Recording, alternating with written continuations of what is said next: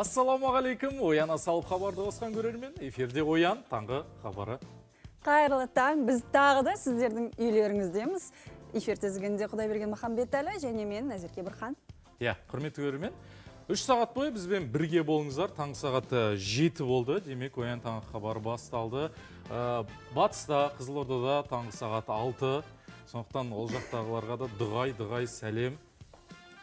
Біз сіздерді жақсы көреміз. Біз сіздер үшін алдағы үш сағат бойы 180 минут бойы жұмыс істейміз. Иә енді күнімізді бір әсем әуенмен бастайықшы иә? Кавер шоуды білесіздер ғой құрметті көрермен онда қаншама әдемі әндер жаңа нақышына салынып орындалды. Сонымен әбдіжаппар әлқожа самая самая біз өлең айтпай ақ қояйық. Әбдіжаппар әлқожа өзі айтсын сіздерге ұсынады. Ай бір тамаша таң болды. Мен әбдіжаппар әлқожаның орыс тілінде өлең айтып жатқан бір шет естіп тыңдап жатырмын маған қызық болды. Айтпа. Иә құрметті көрермен біз бастаймыз жалғастырамыз. Сонымен үш сағат бойы 180 минут бойы не көрсетесіңдер десеңіздер мінекей құрметті көрермен қысқа нұсқа сіздерге анонс.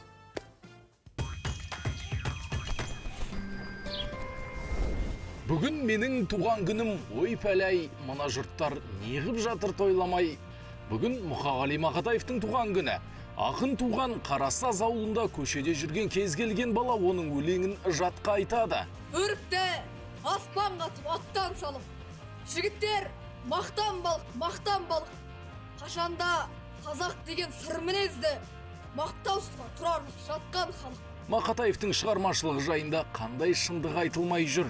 Бүгін оян хабарында айтамыз. Буын ауруларын массаж арқылы емдеуге болады екен. Балаңыздың бойында дерт болса дереу хабарласыңыз. Студияға келе жатқан маман тікелей эфирде сан сұраққа жауап береді. Айдан айға жалақыны үнемдеудің жаңа әдісін білесіз бе? Оған көп табыстың керегі жоқ тек тәсілін білу керек.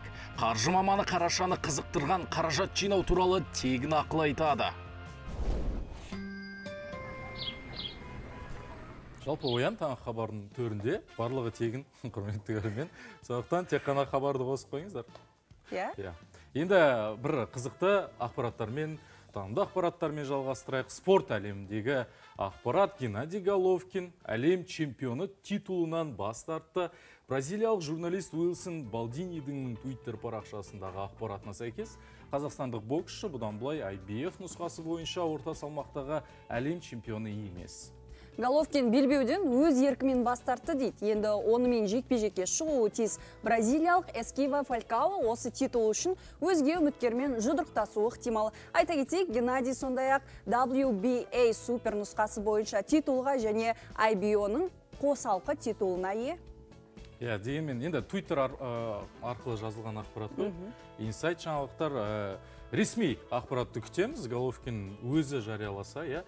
Иә. дегенмен де қандай жағдай болмасын? Геннадий головкин қазақстан есімін әлемге ә, паш еткен иә. иә. ә, даңқты тұлғамыз. Америкада жалпы кез келген мемлекетте қазақстан десең JJJ деп алғашқылардың Иә, бірі- болып аталады. Сондықтан геннадий головкин біз үшін әрқашанда жеңімпаз. Сонымен ә, спорт әлеміндегі жаңалықтармен әрі қарай жалғастырайық. Қазақ қыздары да спортта биік белестерді бағындырып келеді. Тіпті олимпиада чемпиондары жүлдегерлері де бар. Бұрын бұлардан ең алғашқы болып спорт шебері нормативін 1952 жылы мерген қыз гүлшат майлыбаева орындаған екен. Қазақ қыздарының арасында олимпиада чемпионы болған биатлоншы динара әлімбекованың да спортта орны ерек. Тәуелсіздік алғаннан кейін Қазақстанның атынан ең алғаш болып Олимпиадаға коньки мен сырғанаудан Кенжеш Сәрсекенова қатысқан. Қазақ қыздары үшін ең сәтті Олимпиада әзірге Рио болып тұр. Бразилия жерінде ауыр атлетикадан Жазира Жаппарқұл, әйелдер күресі бойынша Эльмира Сыздықова, бокстан Дариға Шәкімова, Жайна Шекербекова, көркем гимнастикадан Сабина Әшірбаева, дзюдодан Мариан Ордабаева, жеңіл атлетикадан Гүлжанат Жанатбек, Диана Айдосова, таэквондодан Айнұр Еспергенова, Жансель Дениз өнер көрсетті. иә одан бөлек бокстан әлем чемпионы атанған назым қызайбай дина жоламан теннисте талай додаларда оза шапқан зарина диас мәнерлеп сырғанаудан әлемнің вице чемпионы атанған элизабет тұрсынбаева дзюдодағы абиба абужақынова шахматтағы бибісара асаубаева жансая мәлік пен динара сәдуақасоваларды да ерекше айтуға болады иә қандай көп бізде батыр қыздар мықты қыздар біз мақтан тұтатын әрдайым үлгі тұтатын тіпті иә? Иә әсіресе мінекей шахматтан соңғы сәтте соңғы сәтте чемпион атанып жатқан қыздарымыз. Жансая. Иә жансая ә, Әбдіман. бибісара жақында дәл осы оян таңғы хабарына келді. Алғашқы рет теле- теледидарға келген мен сұхбат бергенін көрдім. Оян таңғы хабарында эксклюзив болды. Толық нұсқасын ә, ютуб хабар- парақшамызда инстаграм парақшамызда. қарап көрсеңіздер болады жалпы даңқты қазақ қыздары өте көп. Иә осы қыздардың енді жолын жалғағысы келетін хоккейші қыз нұрайым жайында келесі бір бейне материалдан тамашалаңыздар.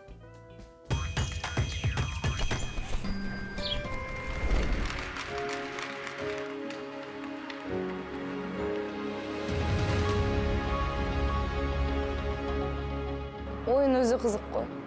Шайба соғу шайбаны алу оған таласу жүгіру соның барлығы бұл жерге мені алғаш рет әкем алып келді бірақ ну, бара келе өзіме де ұнап мұны жалғастыра бастадым. Мұз үстінде мәнерлеп сырғанау әркімнің қолынан келе бермейді. Бүгінгі кейіпкеріміз нұрай коньки тебуді еркін меңгеріп қана қоймаған. Хоккейге деген қызығушылығы ерекше. Жаста болса халықаралық және республикалық сайыстардың жеңімпазы атанып үлгерген. Нұрайдың таңы жаттығумен басталады екен. Жеткіншекті хоккейге әкесі әкелген. Қызының әр жетістігімен мақтанатын серік қайыржанұлы сайыс алдында өзімді толқып отырамын дейді. Енді қобалжу бар ғой әрқайсысында нетеміз уайымдап уайымдаймыз. Қайсы неше де қанша болса да енді мысалы жылына төрт рет э, қазақстанда қазақстан жарыстары бар. Еще ұл, ұл, ұлдармен істегесін енді қобалжисың.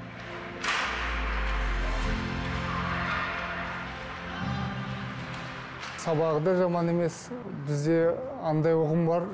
Э, жаңағы көбіне спортшылар э, оқи алмайды. Болмаса жаман оқиды деген не бар. Бірақ ол э, қате бір ұғым. Әрі спортта әрі жаңағы оқуда озат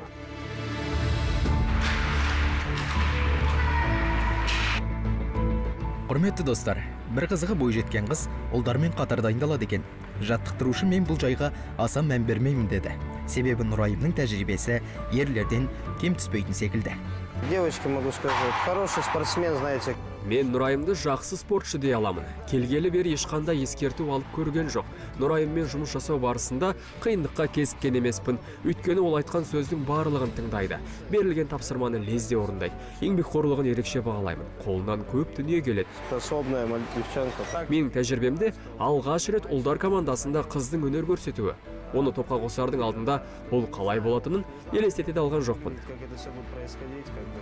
Қазір тіпті мән бермеймін. Себебі ол сіңісіп кетті. Ол қыздың бойында нақты мақсат бар. Ал мұндай құлшынысты ештеңе де тоқтата алмайды. Ни мальчики, ни девочки. нұрайым ол жақсы қыз жақсы ойнай алады. Бойында жақсы қасиеттер көп. Ақылды э, ақкөңіл бәрімен сөйлесіп жүреді. Ешкіммен ұрыспайды көбінесе әйелдердің несінде құрамасында шетелден әкелген әйел адамдар да көп. Ол канададан негізі канада сосын ресейдікі. Өзіміздікі жоқ та олардың мақсаты өзімізден жасау болып тұр ғой. Болашақта менің ересектер құрамасына өту деген мақсатым бар. Оны жүзеге асыру үшін енді күш әкелемін де. Құдай қаласа ол жерге өтемін.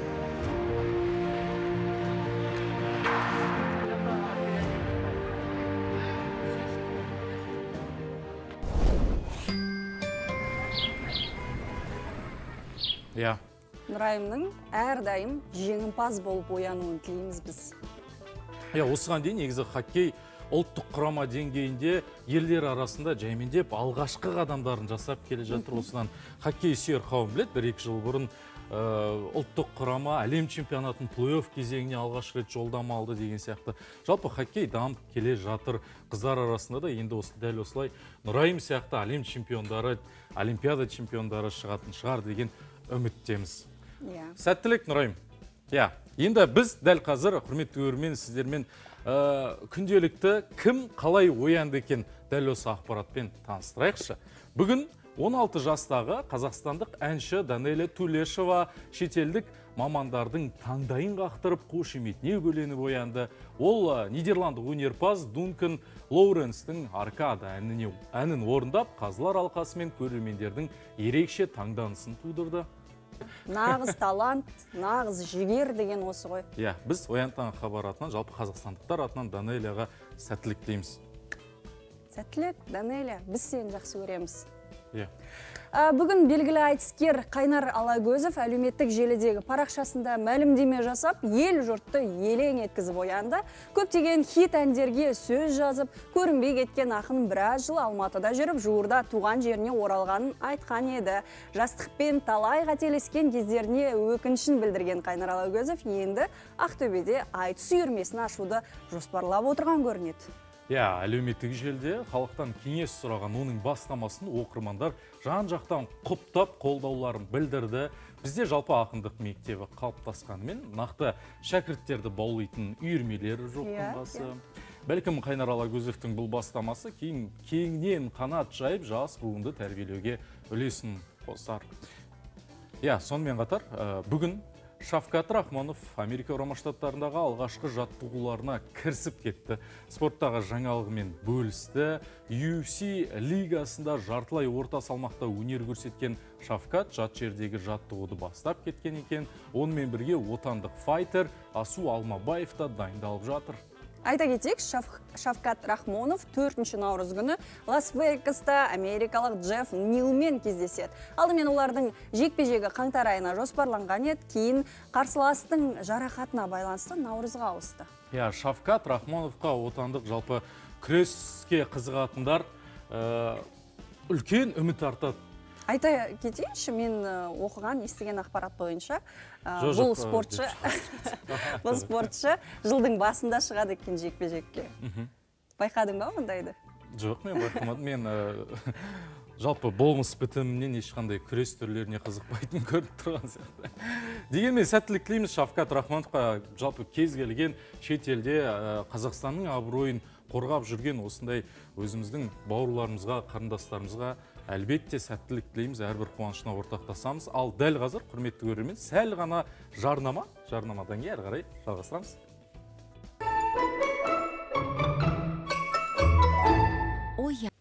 Біздің студияға бір э, күшті, жағымды есті алып келетін бір журналист бар. Аха. Ойлайсыз? Ә, Балжан, бүгін бізде шеберханамызда құрметті көрермен пицца күні екен бүгін. Бүкіл италиялықтар тойлап жатыр екен дүркіретіп. Енді бізде сол сарынан қалып қоймайық деп бүгін құрметті көрермен енді бәріміздің тек қана итальяндықтардың емес, барлығымыздың сүйікті тағамызға айналып үлгерген пиццаны жасау әдісін Балжан көрсетпекші. Балжан, Балжан, бізге Қайырлы дайындап жатсың ба? Жатырсың ба? сіздерге ғой бүгін халықаралық пицца күні пицца әлемдегі ең танымал тағамдардың бірі пиццаға ұқсас тағам қысқа мерзім ішінде пицца қарапайым итальяндықтардың сүйікті тағамына айналып 17 ғасырдың басында пиццайоло атты мамандықта пайда болған Одан кейін ә, пицца пісіретін маманды пиццайола деп атадық. Сол пиццайолалар енді Маргарита аталып кеткен пиццаның тарихын айтып өттік. Италия Италия королінің әйелі Маргарита 1889 жылы қарапайым адамдардың тұрмысын бақылау үшін елді мекендерді аралаған. Сол жердегі шаруаларға тамақ дайындауды өтініпті. Жергілікті аспаздар патшайымның кенеттен келгені үшін теңіз өнімімен ет таба, ет таба алмай аяқ астынан қамыр илеп, үстіне неше түрлі көкөністерді, ірімшікті және қызанақты қосып, тәтті тағам жасап жіберіпті.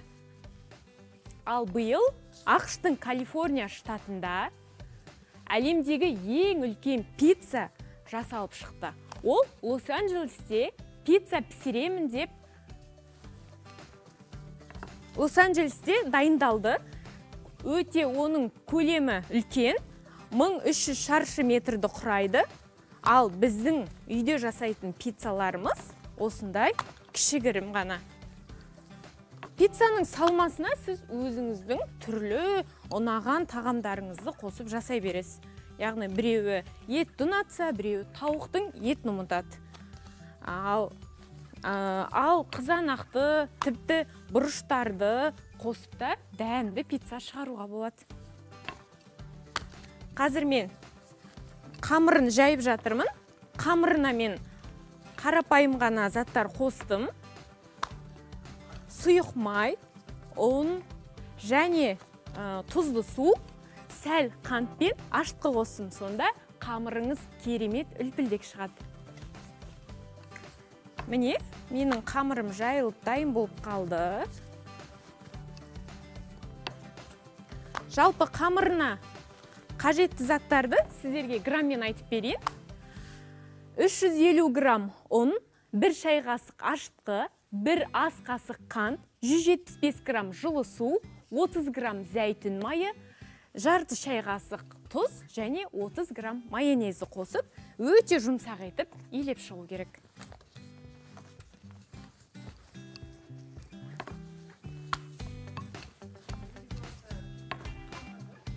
Иә. Де өзімде үнемі бір мінсіз қамыр шықпай қалатыны бар.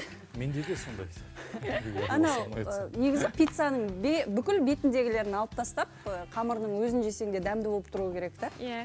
Нанын жесең. Пиццаның қамыры ең басты илеуінде оның ішіне қосатын құрамында емес. А. илегенде бар махаббатты салып жұмсақ етіп қолыңыздың ұштарымен ғана ой. илеп шығу керек. біз енді ойлап тұрып илеу керек қой сондай мен енді ә, мамандығым журналист аспаз емеспін бірақ бізде бас аспаздар пиццаны осындай айналдырып жатады лақтырып тұрып. Иә мен енді қатты айналдырмай ақ қояйын. Бұл бір жағынан нан ғой. Күйінгенше айналдырдым. Міне жұқартып жатырмын. Қатты жұқа болса пиццаның наны ә, яғни заттарыңыздың барлығы түсіп ыңғайсыз тесіліп ыбыржып кетеді. Міне осындай керемет қамыр дайын болды. Қазір мен ыдысқа саламын. Әдетте осы қазір соңғы кезде ыыы, қамырды қолмен дайындамайды. Иә пиццаға арналған қамыр пиццаға арналған жайма дегендер дүкенде көп сатылатын болыпты қазір мен иә жайылып дайын тұрады. Бірақ ол бәрібір қолмен дайындағандай дәмді болмайды негізі. Ә, ол дәмді болмайтыны оны мысалы дайындайды иә? цехта дайындайды. Алдын ала ә, ашып кетпес үшін бұзылып кетпес үшін түрлі заттарды салады құрамын бұзып жібереді. Ә, ол бір жағынан ұзақ уақыт сақталады. Сол себепті ә, қолдан жайған қамыр жеңіл әрі дәмді. Қазір не қостың? Тіпті ақшаңыз да кетпейді. Ә, мен қазір қамыр ә, қамырды жайып алғаннан кейін маған қызық болып тұр жақын тұрайыншы мен.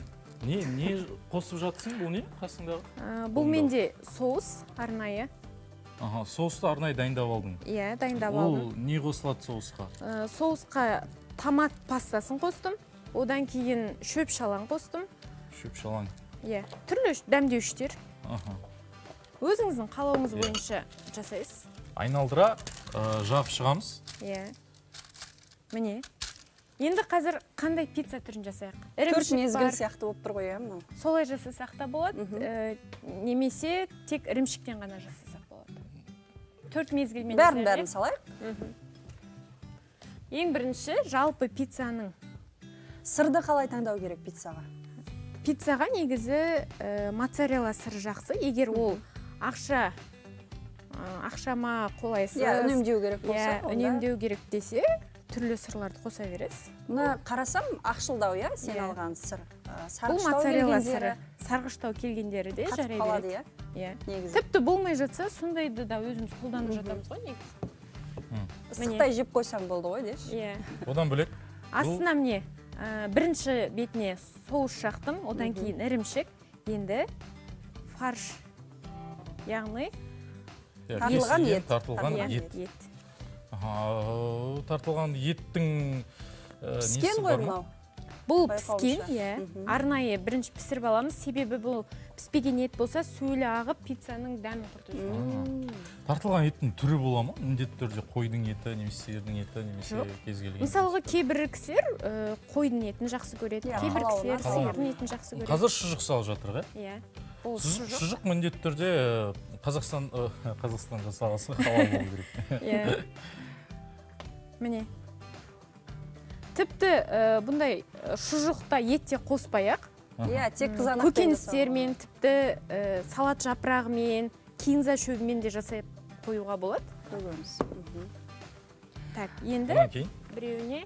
Ең әмбебап түрі осы қызанақпен жасалғаны сияқты. Иә. маргарита деп атайды ғой. Сосын үй жағдайында жасағанда ә, ірімшікті де шұжықты да қызанақты да барынша ә, үккіштен өткізіп кесіп алған иә? дәмді шығады. Себебі мысалы қызанағымыз үлкен жуан болса ол ә, енді қызанақтың дәмі болып тұрады да. Ал бұл жерде кесілген бір пицца Біте қайнасып кетеді, біте қайнасып. Иә. мен сияқты ә, асханаға көп кірмейтін адамдар үшін үккіш мясорубканы айтып отырмық қой жоқ терка а өте андай орыс терминдерін қолданады ғой сол үшін Міне. сұрап жатқан ғой нақты. Мен дайындап үккіш деп алдым. аталады екен А, дайындап алдым. Зәйтүнді бөлген жоқсың ортасына. Иә. Бөлуге де болады. Әркім өзінің қалауы бойынша ғой. Сонымен енді? Пешке жібереміз ғой енді. Пешке жібереміз. Ә, пешке жібергенде ә, 20 минут пісіріп алуымыз керек. Бірақ 15 минут өткеннен кейін мына қалған ірімшікті бетінен сеуіп шығамыз. Сонда пиццаның ірімшігі созылып шығады. Ал егер қазір осы бетте бетіне ірімшікті сепсек онда күйіп кетеді ірімшігіміз. Сонда жалпы 20 минут тағы бір қыздырып аламыз. Одан кейін үстіне ірімшікті қосамыз. Иә. жалпы есептегенде бір 30-40 минут уақыт керек болады 20 минут қана. 20 минут қана уақыт Иә. керек. А, тіпті пеш жақсы болып жақсы қызып тұрса 15 минут қана. Онда былай істейік. Қазір пешке сал пиццаны. Одан кейін бір жарты сағаттан таңғы ас ба? Ішкен жоқпын әлі жарты сағаттан кейін сені күтеміз. Иә жарты сағаттан кейін дайын пиццамен дәл осы жерде сені күтеміз иә құрметті көрермен енді түсінікті болды деп ойлаймын барлығы иә менің өзім түсініп алдым асханаға аса қатты кіре бермейтін адам.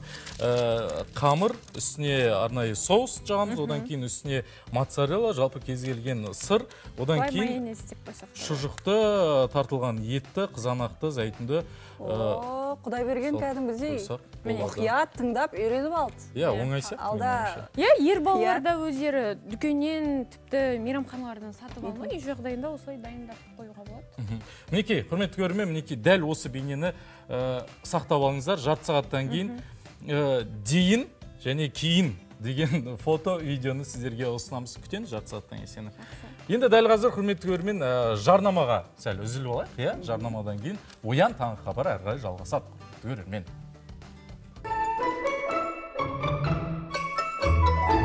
Оян. оян таңғы хабары құрметті көрермен сіздердің теледидарларыңызда бізбен бірге болыңыздар. Енді қайырлы таң. Қайырлы таң иә. Енді ә, соңғы жаңалықтарды естіп жатырсыздар ғой құрметті көрермен. Бауырлас түркия мемлекетінде иә ә, айтып келмейтін апат табиғат зілзаласы орын алды. Осыған байланысты кеше мемлекет басшысы қасым жомарт тоқаев түркия республикасының қазақстандағы елшілігіне барып бауырлас елдің оңтүстік шығысында болған алапат зілзала салдарынан мыңдаған адамның қаза табуына байланысты көңіл айтты. Сондай ақ еліміздің тарапынан жан жақты қолдау көрсететінін жеткізді. Президенттің тапсырмасымен қазақстан түркияға шұғыл көмек ретінде 1 миллион доллар бөлінді. Бұдан бөлек қазақстандық құтқарушылар жөнелтілді. Олар газиантеп қаласындағы іздестіру құтқару жұмыстарына атсалысады. Елімізден 101 адам аттанды. Олардың арасында жедел құтқару жасағының мамандары медициналық қызметкерлер және арнайы үйретілген иттер бар. Түркия президенті режеп тайып ердоған жойқын жер сілкінісіне байланысты 12 ақпанға дейін жеті күндік ұлттық аза тұту уақытын жариялады. Иә. Зілзала ә, зілзаладан кейін құрметті көрермен зілзаладан кейін түркияға ә, саяхаттап баруға бола ма? Елдің тағы қай аумағында жер сілкінісі болуы мүмкін? Енді осы ақпараттардың барлығын айтпас бұрын осы төтенше жағдайлар ә, министрлігі иә иә арнайы иә аттанып жатқан біздің елдің азаматтарына иә құтқаруға аттанған. Э, соларға э, арнайы э, кеңесін айтып енді батасын беріп дейміз бе? Солай аттандырған еді. Қазір үзіндісін ұсынайық. Обстановка в очаге сложная, продолжаются авторшоки. Поэтому при проведении работы обращаю внимание на меры безопасности. иә. Енді айтып жатырмыз ғой түркия көп адамның қазақстандықтардың ә, саяхаттайтын иә. Ә, елі аумағы осыған байланысты қазір ә, баруға бола ма қаншалықты ә, қауіпті қауіпсіз осындай сұрақтар туындап жатыр. Әлемдегі туристерді алаңдатып отырған мәселе осы. Туроператорлардың дерегінше қазір саяхаттаушылардың дені анталия мен стамбул жағын таңдап жатқан көрінеді. Басқа өңірлерге сұраныс азайған сейсмологтардың болжамы да көңіл көншітпейді табиғи апат қайталанбайды деп айту әлі ерте дейді мамандар. Ал қазақстандық туристік қақмор қорының басшысы инна рей түркиядағы ахуал көп кешікпей реттеледі деп үміттеніп отыр. Оның үстіне қазір туристік маусым емес онсыз да сапарлайтын азаматтар аз болады бұл уақытта. Ал жазға қарай зілзала болған аумақтан шалғайдағы демалыс орындарына баруға болады дейді ол. Қазіргі уақытта бауырлас елге қолдау көмек көрсетуге мән беруіміз керек деп мәлімдеді инна рей иә құрметті көрермен жалпы оян таң хабар атынан қазақстандықтар атынан иә ә, бауырлас елге өзіміздің ә, ыстық лебізімізді жолдаймыз ә, қолдау білдіреміз иә. сабыр тілейміз. Қаншама қазақстандықтарымыз да бар ол жақта. Сондықтан абай болыңыздар құрметті көрермен. Енді дәл қазір бір оянып сергіп алайық сағат жеті жарым болып қалыпты. Жетіден отыз кеткенде құрметті көрермен әдетте біз сіздерге таңғы жаттығу ұсынамыз. Бүгін, ғана емес, күнде сағат жеті жарым мен сегіз жарымның кезінде тұрақты түрде жаттығу жасаймын деушілерге біздің ұсынатын тұрақты айдарымыз бар. Аружан мен Ғалия көмектеседі сіздерге. бізбен жаттығу жасаңыздар оянда сергек болыңыздар құрметті көрермен.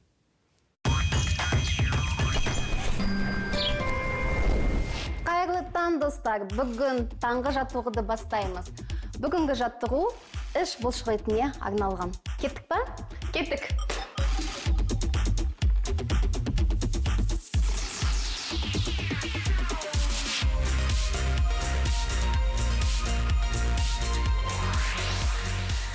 Бір аяғымызды пилатес құрылына қойып аламыз. Сол аяғымызды түзу ұстаймыз. Іш бұлшық етін қатайтып сол аяғымызды сермейміз. Бір екі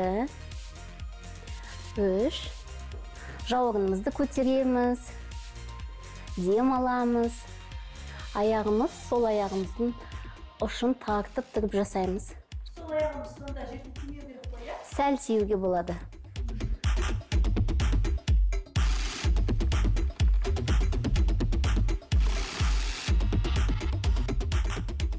Денемізді тік ұстаймыз іш бұлшық етін қатайтамыз енді сезілді. Енді сезілді ма? Иә. Сол аяғымызды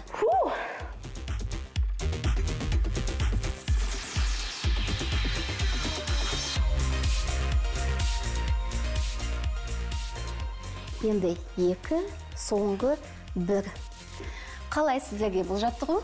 Жаттығу керемет ә, бірақ кішкене қиындау екен себебі ә, ішкі бұлшық еттеріміз қатаймаған бұны әлсін әлсін жасаған кезде сіздер өзіңіз байқайсыз. Іш бұлшық еті қатайып жақсарасыздар. Келесі жаттығуымыз ол бұдан да күрделі болады. Ол үшін бізге және пилатес шеңбері мен пилатес добы қажет. Пилатес шеңберін аяғына қойып аламыз. Жақсы. Оң аяғымызды пилатес шеңберіне қоямыз да сәл басып тұрамыз. Жақсы ма? Сол бос аяғымыз сермеледі. Допты айналдырамыз. Айналдырамыз иә. Жақсы ма? Бұны он рет жасасақ болады. Жақсы ма дайынсыздар ғой көрейік.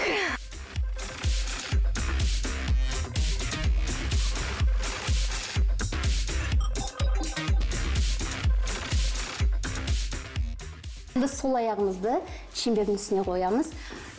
Салмақ түсіруіміз керек шеңберге жарай ма? Қыздар ғалия қалай? Жақсы. Дайынсыздар ма? Оң аяғымызды сермейміз. Кеттік. Бір екі. Үш. Төрт. Бес. Алты. Жеті. Сегіз. Демалыңыздар қыздар. Соңғы қалды бізде бес. Аяқ. Төрт түзу үш. Екі. Соңғы.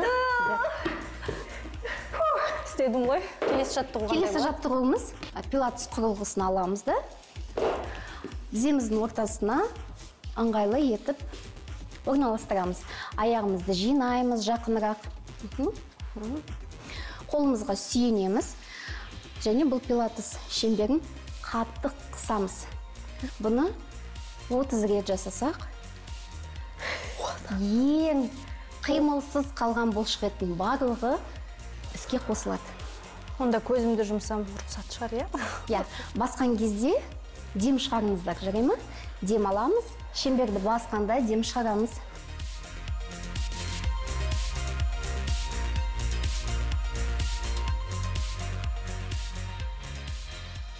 Соңғы бес төрт үш екі соңғы бірін қысып аламыз да үздік үздік басамыз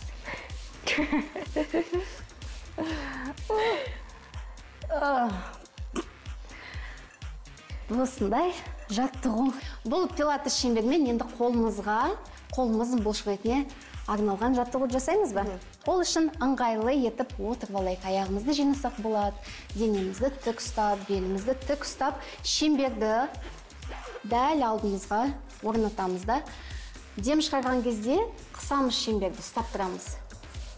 Дем шығарамыз дем аламыз. Бұл тек қана қол бұлшық етіне емес кеуде бұлшық етіне де жақсы әсерін береді. Қалған. Он жасаймыз. Тоғыз сегіз демаламыз. Жеті алты бес төрт үш екі. Соңғысын қатты қысып тұрамыз да үздік үздік салмақ салып басамыз.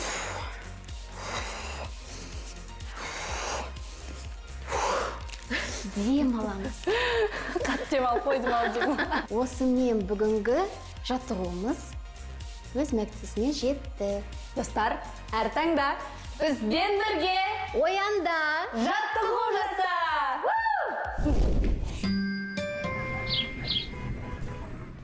осы қыздардың позитиві ұнайды маған. Оян таңғы хабары құрметті көрермен сіздерге жаттығу ұсынады. Таңғы сағат жеті жарымда сегіз жарымда міндетті түрде теледидардың алдында болыңыз және арнайы киіміңізді киіп дайын тұрыңыз. Ғалия мен аружан арнайы маманмен сіздерге дәл осылай жаттығу әдістерін үйретеді иә одан бөлек егер оян бағдарламасын көремін десеңіз жеті мен онның арасында қосыңыз. Иә. енді Жалпы- көргіңіз келіп қалып жатса. Иә жалпы қызықты мәнді мағыналы ақпараттар айтылады. Соның бірі құрметті көрермен соңғы кезде негізі ә, мамандардың айтуынша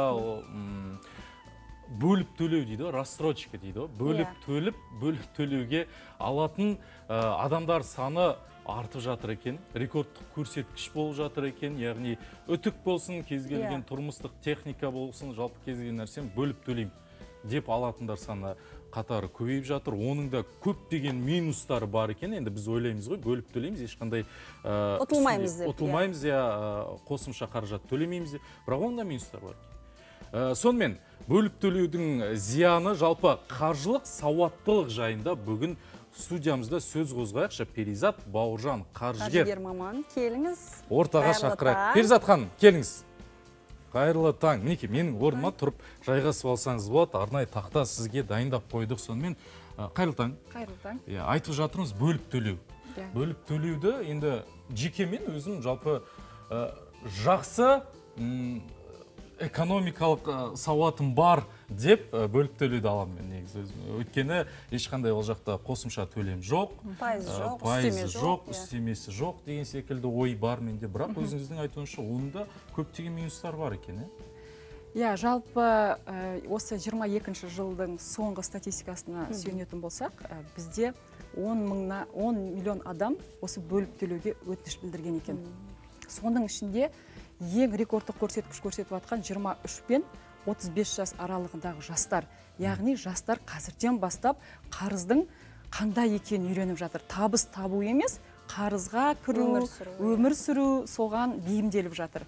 Енді қараңыздар бөліп төлеудің енді сіздер артықшылығын айтып жатырсыздар ғой ол қандай кезде артықшылығы бар? Егер де сіздің үйіңізде тоңазытқышыңыз бұзылып қалды сізге шұғыл түрде керек болады. Сол кезде әрине бірден барып бір ғана құжатпен алсаңыз ол сізге тиімдірақ егер де қолыңызда ақша болмаса.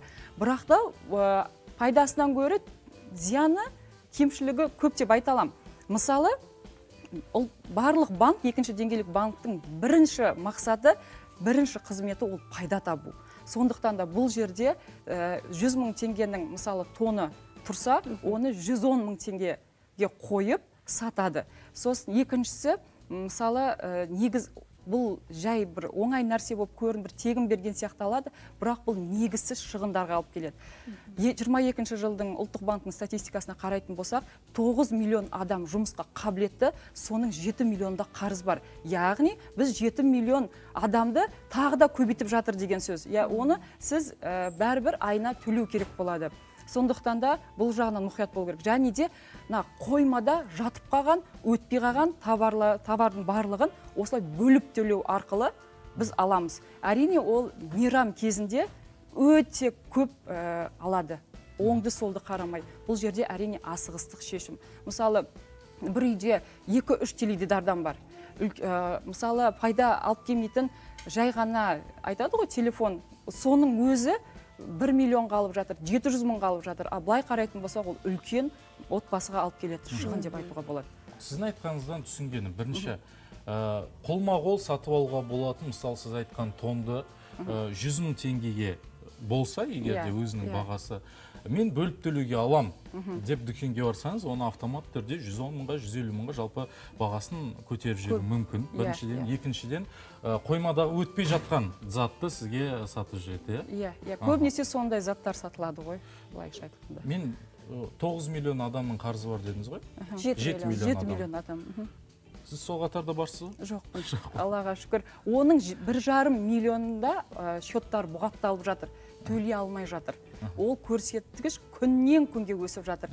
Бір бір нөл бес процент емес бір процент екі процент болып өсіп жатыр. Негізі ақшаның қолжетімділігі қаражаттың қолжетімділігі адамдарды өз мүмкіндігіне қарай өмір сүруден бас тартқызып жатыр. Негізі иә? Иә бізде қазір жастарға үйрету керек. Адамдардың төрт санаты бар. Бірінші ол борышкер қарыз. Өмір бақи жұмыс істегеннен бастап зейнетақыға одан ары қарай да қарызбен өмір сүреді. Борышкер болып өмірден өтеді. Екіншісі тұтынушы. Алады ешкімге қарыз емес жаратады. Алады жаратады. Үшінші ол бай адамдар. Оларда белгілі бір счетта ақшалары бар бірақ белгілі бір уақытқа дейін бар. Егер бір жағдай болса счет олар басқа жолын іздейді. Әрине біз қазақтар әл ауқатты болуға тырысуымыз керек. Ол біздің жинаған ақшамыз 100-150 жылға дейін жетіп жатады. Яғни балаларымызға мұра етіп қалып отырады. Енді жалақы ә, жағын айтып жатырмыз ғой. Қалай жеткізуге болады? Күнделікті күнкөріске. Мысалы енді ә, ұлттық статистика бюросының мәліметінше қателеспесем ә, орташа жалақы 300 мың қазақстан. иә. сол 300 мыңды алып есептеп көрейікші? 300 мыңды? Жақсы жақсы. Ә, қай ақшаны ә, қайда жұмсатқан қанша теңгені қайда жұмсатқан дұрыс мінекей бор. А бор бар ғой ә, және қалай жұмсаған дұрыс? Мысалы 300 мың теңге. Иә. Біз үш жүзді қоя тұрып екі жүз дейікші өйткені ауылдық аймақтар бар аудандар бар. Екі жүз мынаны қазір өшіріп тастайық онда? Так өшіріп. Біздің қолымыз өшіргіш сияқты менің ойымша. а болды. Мен мектептік кезде өшіргіш алып келуге баратын кезде ерінетінмін. Сонымен қолмен сүртіп үйренгенмін. Иә шығыс. Осы формуланы барлықтарыңыз мен жаттап алса екен деймін. Бізде айтады менің жалақым 200 мың теңге дейді. Бірақ та 200 мың теңге бұл жай ғана кіріс. Егер де сол 200 мың теңгеден барлық шығындарды алып тастағанда қанша қолыңызда ақша қалады өзіңізге ол сіздің табысыңыз. Егер де сіз 200 мың келіп 200 мыңды жаратсаңыз сізде табыс жоқ. Иә? Енді бұны біз екіге бөлеміз. Бұл енді несиесі бар адамдарға. Мынаны 100 мың теңге мысалы сіздің айлығыңыз ой сіздің ә, кредитіңіз 70 мың болу керек. Мысалы иә ай сайын. Бірақ та сіз көбірек яғни елу пайызын сіз бірден аласыз да қарыздарыңызға жабасыз. Жетпіс мың анадан мынадан алған қарыздар Иә, бар. жетпіс, иә. отыз Бірақ- мың теңгені біреу сұрайды өйтеді бүйтеді. Иә, сонымен артығын- жүз мың теңгені шығысқа жібереміз сіз қалай бір, бір адамға қолма қол қарыз бересіз бірден сізге келетін табыстың берекесі азаяды. Осыны да ұмытпаңыздар. Қарыз беретін кезде иә ойлану керек. Бастапқыда сіздерде қарыз болса міндетті түрде ә, мен сіздерге 10-20 процент жина деп айтпаймын. Хотя 5 пайызын жинау керек. Иә. Қазір осы жерден сөзіңізді бөле тұруға тура келіп тұр. Иә, иә. құрметті көрермен ақпарат қызық керек ә, жалғасын көру үшін есту үшін қазір жарнамадан кейін бізбен бірге болыңыздар. Сәл ғана үзіліс.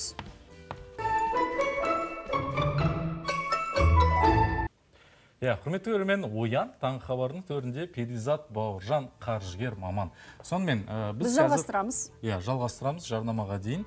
Ә, кір шығыс табыс барлығын есептеп жатырмыз. 200 мың теңгеге қарызсыз шығынсыз қалай өмір сүруге болады деген сұрақтың жауабын іздеп жатырмыз. Сонымен мысалы қараңыздар елу процент дедік қой бұл жүз елу яғни жүз пайызды екі жүзді екіге бөлдік. Елуде елу жүз мың теңге. Енді қараңыз бірінші қарыздан құтылу үшін ең алдымен пайызы жоғары ә, несиелеріңізден құтылыңыздар деп айтқым келеді. Өйткені сіз жүз мың теңге төлесеңіз оның жетпіс мыңы оның елу мыңы тек қана пайызға ғана кетеді дағы. Негізгі сумма аз жабылады. Сондықтан да бірінші барлық фокусты сіз осы қарыздан құтылуға қоюларыңыз керек. Екінші ол 100 мың теңге яғни елу пайызын міндетті түрде жинауыңыз керек. Егер де сіздің келген табысыңыз берекелі болсын десеңіз міндетті түрде ақша жинау керек. Тиын теңге тиыннан құралады иә? Сондықтан да сіз егер де мынаны миыңызға құйып алатын болсаңыз шынымен де кәдімгідей жинай бастасаңыз сізде ә, кәдімгідей жақсы қор жиналып қалады. Алмай- 100 мың теңгенің 5 пайызы Иә. 5 мың теңге. Иә. кемінде? Кемінде 5 мың. Мысалы сіз ә, продуктіге барасыз ғой азық түлікке тізіммен барасыз арнайы тізіммен бару керек иә? шығын болмау үшін. Сол кезде бара жатқанда үш пайызын екі пайызын алыңыз да сол жерде депозитіңізге салып жіберіңіз. Вот осылай ақша жиналады. Енді нақты бес пайыз деп қатып қалған не жоқ сан жоқ. Бұл бес пайыз біздің әсіресе қазақ өзімізге керек. Өйткені бірден қонақ келіп қалады бір жерге баруымыз керек.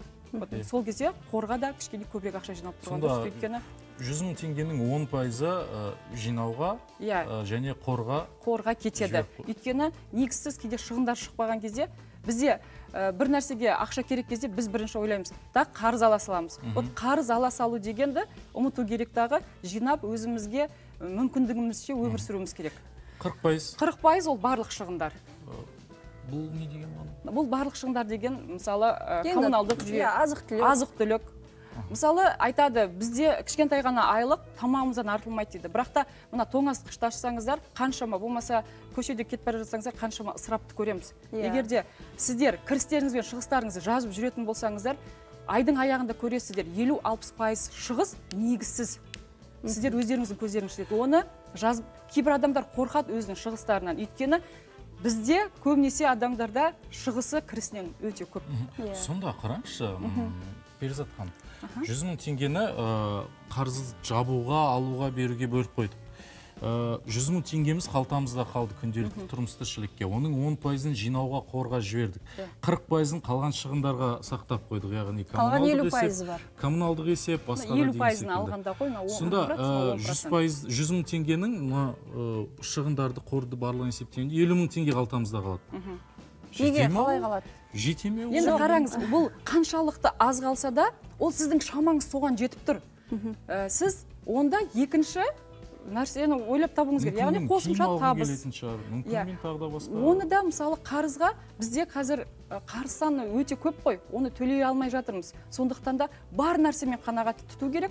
Плюс қосымша табыс іздеңіз.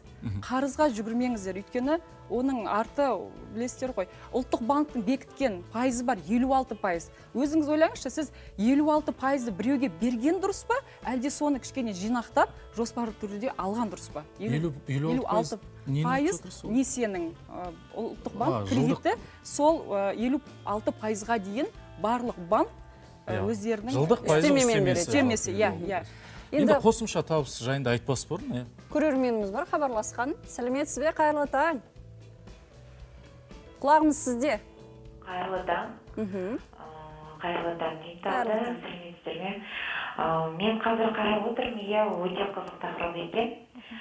Айтайын дегенім мен үнемі шығындарымды жазып отырамын күнделіктісін күнде жазып отырамын соның соңында айтайын дегенім осының қаншалықты пайдасы бар? Ол дұрыс па? Шығындарды жазып отыру. бірінші бай болғыңыз келсе бірінші шығындарыңызды реттеуден бастаңыз деп айтқым келеді. Дұрыс істеп отыр ғой сонда иә? Дұрыс жасап жатыр. Иә көрермендерімізге де бір айту айта кету керек дүние сияқты бірақ оның да жазуының ережесі бар шығар өзінің. Сізде бірінші екінші айда жазып көріңіздерші. Сонда сіздердің ә, таңертеңнен кешке дейін мысалы көп адам жұмыс жасайды иә? Келген ақшасын қайда кетіп жатқанын білмейді. Ол сіздің ғана ақшаңыз емес ол отбасыңызға келген нәсіп. Соны үлкен адамдар дұрыс жұмсап үйрену керек. Балаларға инвестиция салу керек иә? Ары қарай дұрыс саяхаттау керек денсаулықты жөндеу керек. Сонда біз тек қана ішіп жеумен киімге киінеміз бірақ ертең біздің денсаулығымызға кім қарайды? Несиені тез жабудың жолын иә. көрсетесіз бе бізге? қараңыздаршы мен былай түсіндірейінші былай өтімді болатын шығар. Сегіз сағат ұйқы. Несие аласыз жеті сағат ұйқы болады.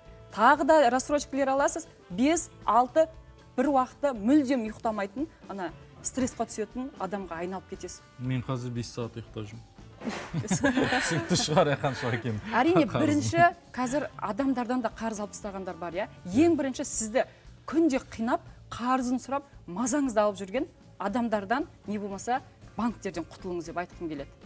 Иә. Екінші әрине пайызы жоғары. Сосын барып суммасы аз ә, қарыздардан құтылсаңыз сізде кішкене миыңызда сенімділік пайда болады дағы ары қарай қосымша табыс іздейсіз шығындарыңызды реттейсіз сөйтіп бірте бірте қаржылық сауаттылыққа үйренесіздер. Мен бір ә, психологтың ә, кеңесін оқып едім. Айналаңыздағы ең жақын адамдар яғни достардың ә, барлығының табысын қосып бөлгендегі орташа сома сенің жалақыңмен шамалас дейді.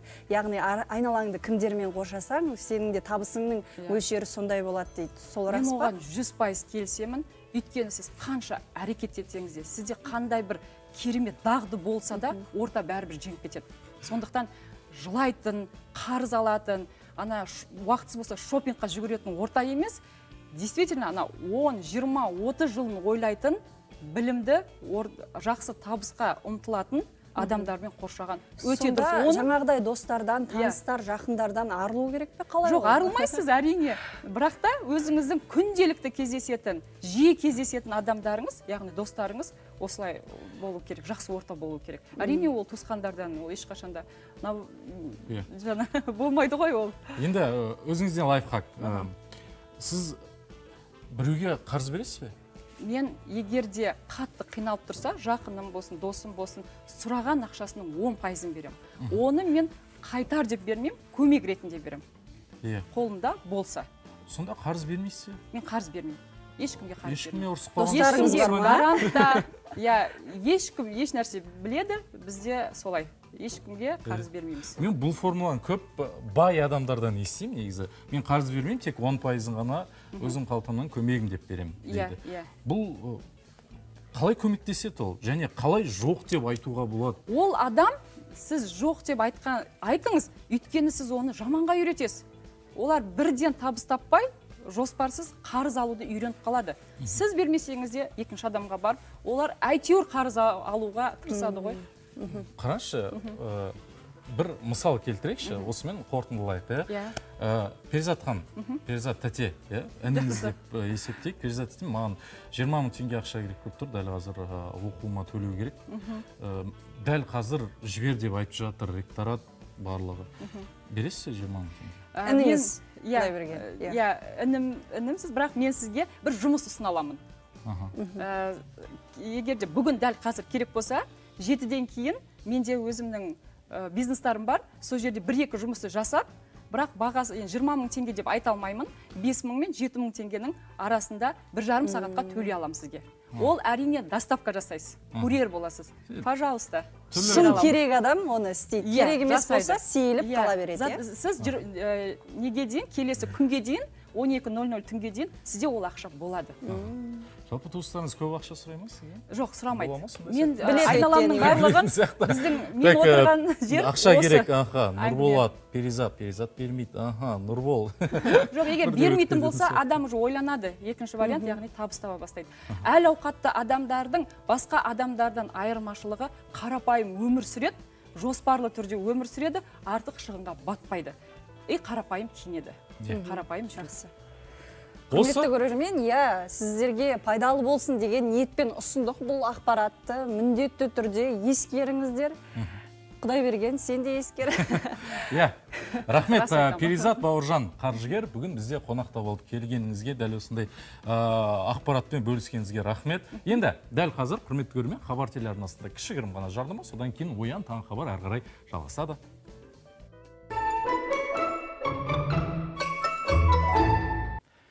Берекелі таң тілейміз сіздерге. Құрметті көрермен.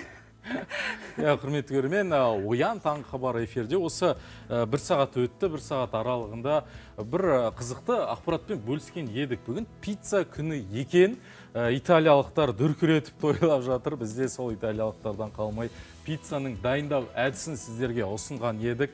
Дейін кейін деген фотоны видеоны ұсынамыз деп едік қой. Мінекей ә, жарты сағат уақыт әне дегенше Өтіп кетті, өтіп иә. кетті. Сонымен балжанның дайындаған пешке салған пиццасы дайын екен. Балжан сонымен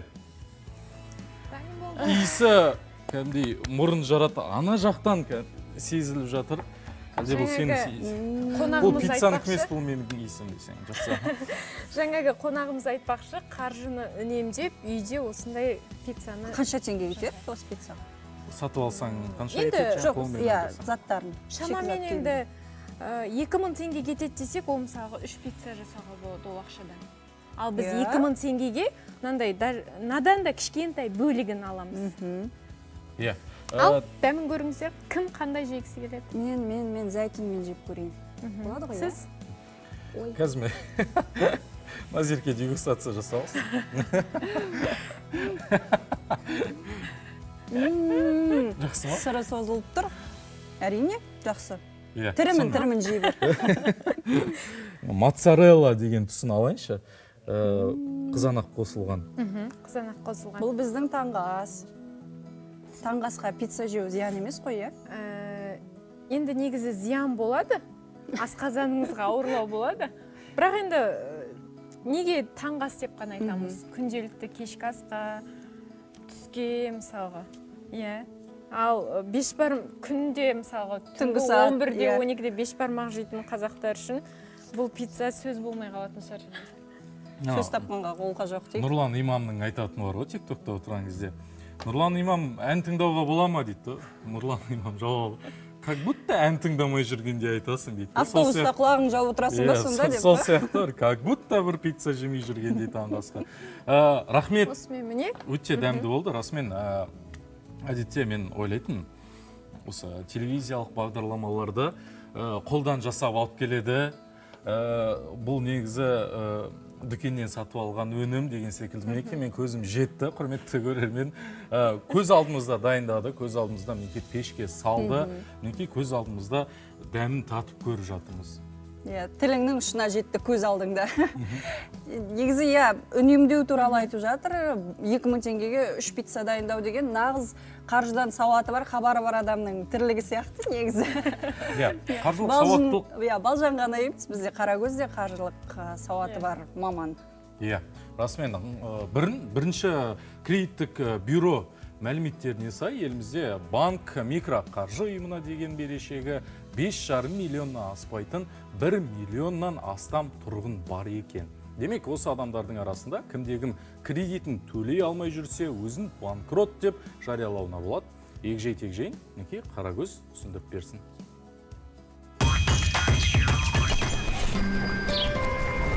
Несиесін өтей алмай жүрген қазақстандықтар банкроттық жариялай алады. Наурыздың үшінен бастап күшіне енетін мүмкіндіктің үш түрі бар. Бүгін олардың айырмашылығы мен ерекшеліктерін талдайық. Ендеше назарыңыз қаржы гайдта болсын. Банкроттықтың алғашқысы соттан тыс. Мұнда қарызыңыз 1600 айлық есептік көрсеткіш яғни 5,5 миллион теңгеден аспауға тиіс. Сондай ақ атыңызда ешқандай жылжитын не жылжымайтын мүлік болмау керек. 5 миллионға дейінгі суммалар кешіріледі. Жеке тұлға өзінің екоф сайты арқылы эцп кілттің көмегімен ә, электрондық обращениялар жасау арқылы үшінші наурыздан бастап өтінім бере алады. Соттан тыс банкроттыққа 5 жылдан астам уақыт бойы несиесін өтей алмай жүрген жеке тұлғаларда жүгіне алады. Ал кейінгі 6 ай бойы атаулы әлеуметтік көмек алып отырған азаматтар үшін тіпті қарызды қанша уақыт бойы төлей алмай жүргеніне қарамастан қолданылады. Ескерер жайт банкрот деп жарияланған жеке тұлға үш жыл бойы қаржылық мониторингіде болады. Яғни оның атында мүлік пайда болса не шотына ақша аударылса олар бірден мемлекет есебіне өтеді. Ал егер қарызыңыздың сомасы 1600 айлық есептік көрсеткіштен көп болса сот банкроттығы түріне жүгінесіз. Ол үшін борышкер өзінің мекенжайы бойынша сотқа барып өтініш жазады. Сонда сіз жарты жылға банкрот боласыз да негізгі берешекті қаржылық ұйымға қайтаруға міндеттелесіз. Суммасы қанша кредит алған қанша қарызы бар сол қарызы бойынша өздерінің мүліктерін мемлекет арқылы ә, жаңа аукциондарға қою оларды сату арқылы өздерінің қарыздарын өтейді. Сонымен қатар қарызы өтелгенге дейін олар шетелге шыға алмайды. Содан кейін қарызы өтеліп болғаннан кейінгі жеті жыл аралықта ол кісілерге кредит берілмейді. Банкроттықтың үшінші түрі төлем қабілеттілігін қалпына келтіру. Ол тұрақты табысы бар азаматтарға арналған. Мұнда қарызды қайтару мерзімін 5 жылға дейін создыртуға болады. Басты талап банк алдындағы берешек сомасы. Кепілге қояр мүлік құнынан көп болмауға тиіс. Банк пен жеке тұлға екеуі келісім жасау арқылы 5 жылға дейінгі график беріледі сол график арасында өзінің негізгі қарыздарын төлеп шығу керек. Банкроттықтың осы кейінгі түрі мен алғашқы екеуінен бір маңызды айырмашылық бар. Соттан тыс немесе сот бойынша банкрот деп жариялансаңыз ал үшіншісінде ондай мәртебе берілмейді. Демек төлем қабілеттілігін қалпына келтіретін азамат шетелге емін еркін шыға алады.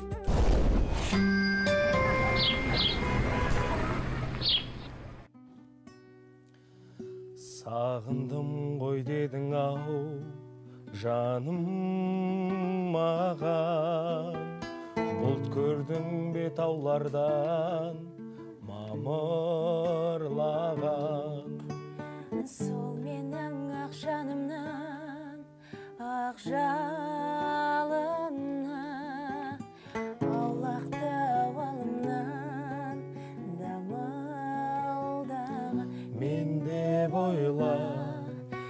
まをぼげすぶけ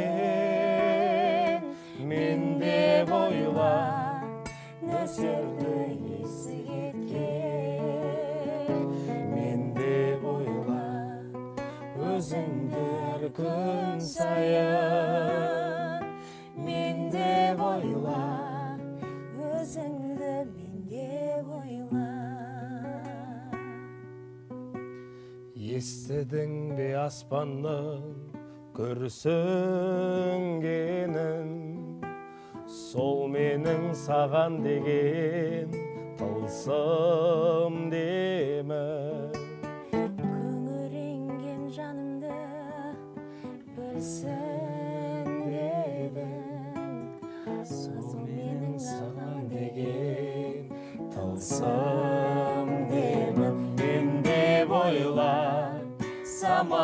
obesebetke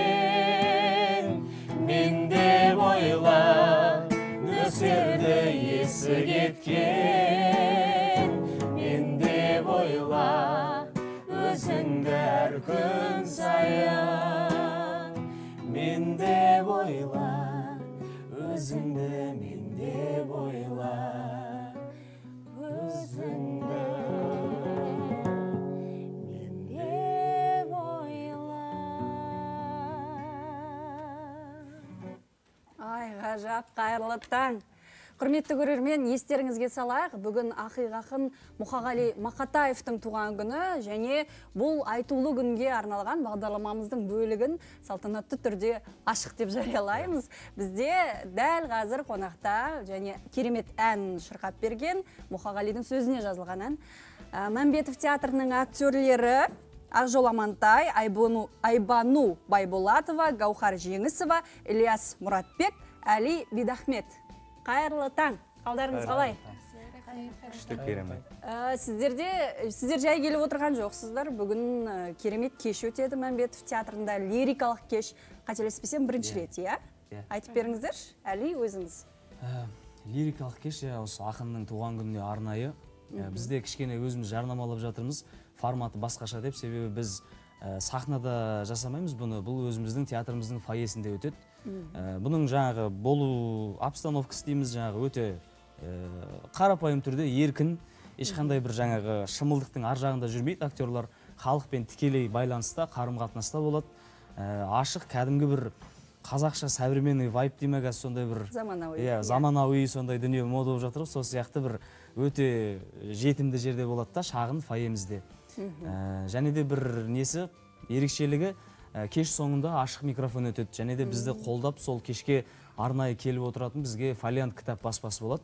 Ол кітап баспасы яғни ашық микрофон өткенде ә, мұқағалидың өлеңін болсын кез келген ақынның өлеңін болсын оқып берген жандарға арнайы сыйлықтар бар яғни кітаптар. Ә, сондықтан да естіп отырған көріп отырған көрермен болса барлығын астана қаласының тұрғындарын біздің театрдың көрермендерін тағы да бір өзіміздің театрға кешкі сағат жетіде шақырамыз қонаққа. Орын бар ма? Жетпіс ақ адам кіре алады ғой. Табылады орын. Режиссері деп сізді көрсеткен екен. Сонда режиссерлік шешім бар ма ол жерде? Енді бір нақты. Режиссер деп айтуға ауыз толтырып айтарлықтай болмай тұр енді. Өзім кішкене ыңғайсызданамын оған. Бастабында өзім негізі қаламаған едім. Оны жазылмай ақ қойса да болады. Бұл жай ғана кеш деп айта берейік деп.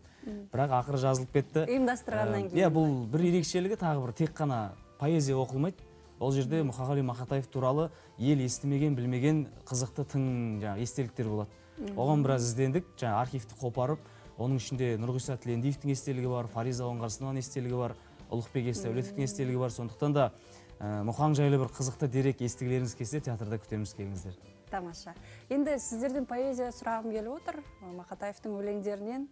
Қысқаша бізге де ұсынсаңыздар анонс болсын кешкі концерттеріңізге. Иә жақсы. Біз инструментімізді келесі жігітке беріп жіберейік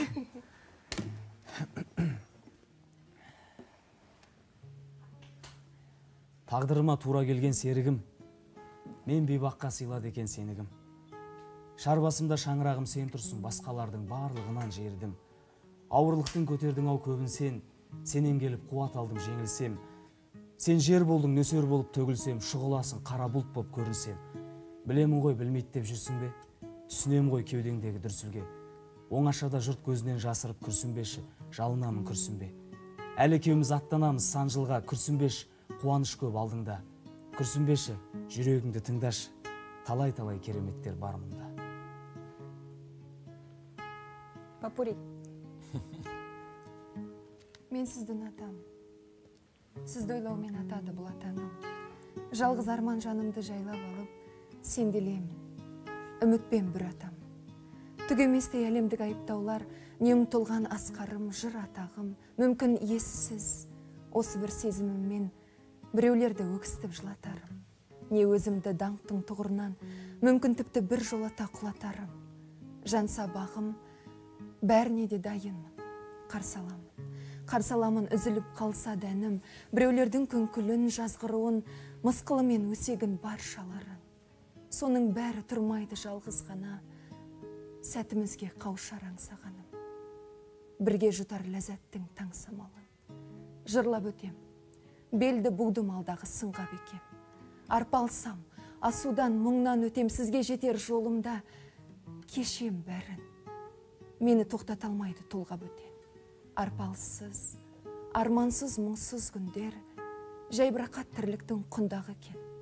Соның бәрін бәрінде сезімімнің сезімімнің жолында құрбан етем.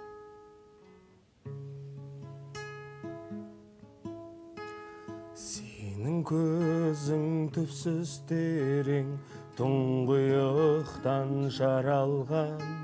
Сонда жатыр менде жүрген орындалмас бар арман. Сенің жүзің көкте күннен жерде гүлден нәр алған шашың сенің шаң баспаған жапандағы қар орман қарағасын қарлығаштың қанатындай қап-қара үлбіреген жүзің сенің ақ жібекпен мақтама. Әсем басың әп-әдемі мүсініне шаққана. Шиедеген еріндерін қызарып тұр шоқтана әсем басың әп-әдемі мүсініне шаққана шиедеген еріндерін қызарып тұр шоқтана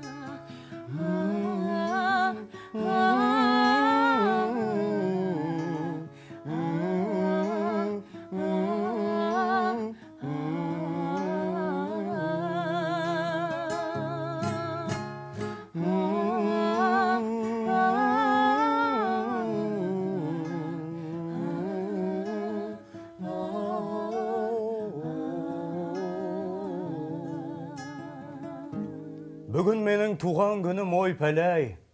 Мына адамдар неге жатыр тойламай? Банкет жасап берер едім өзім ақ.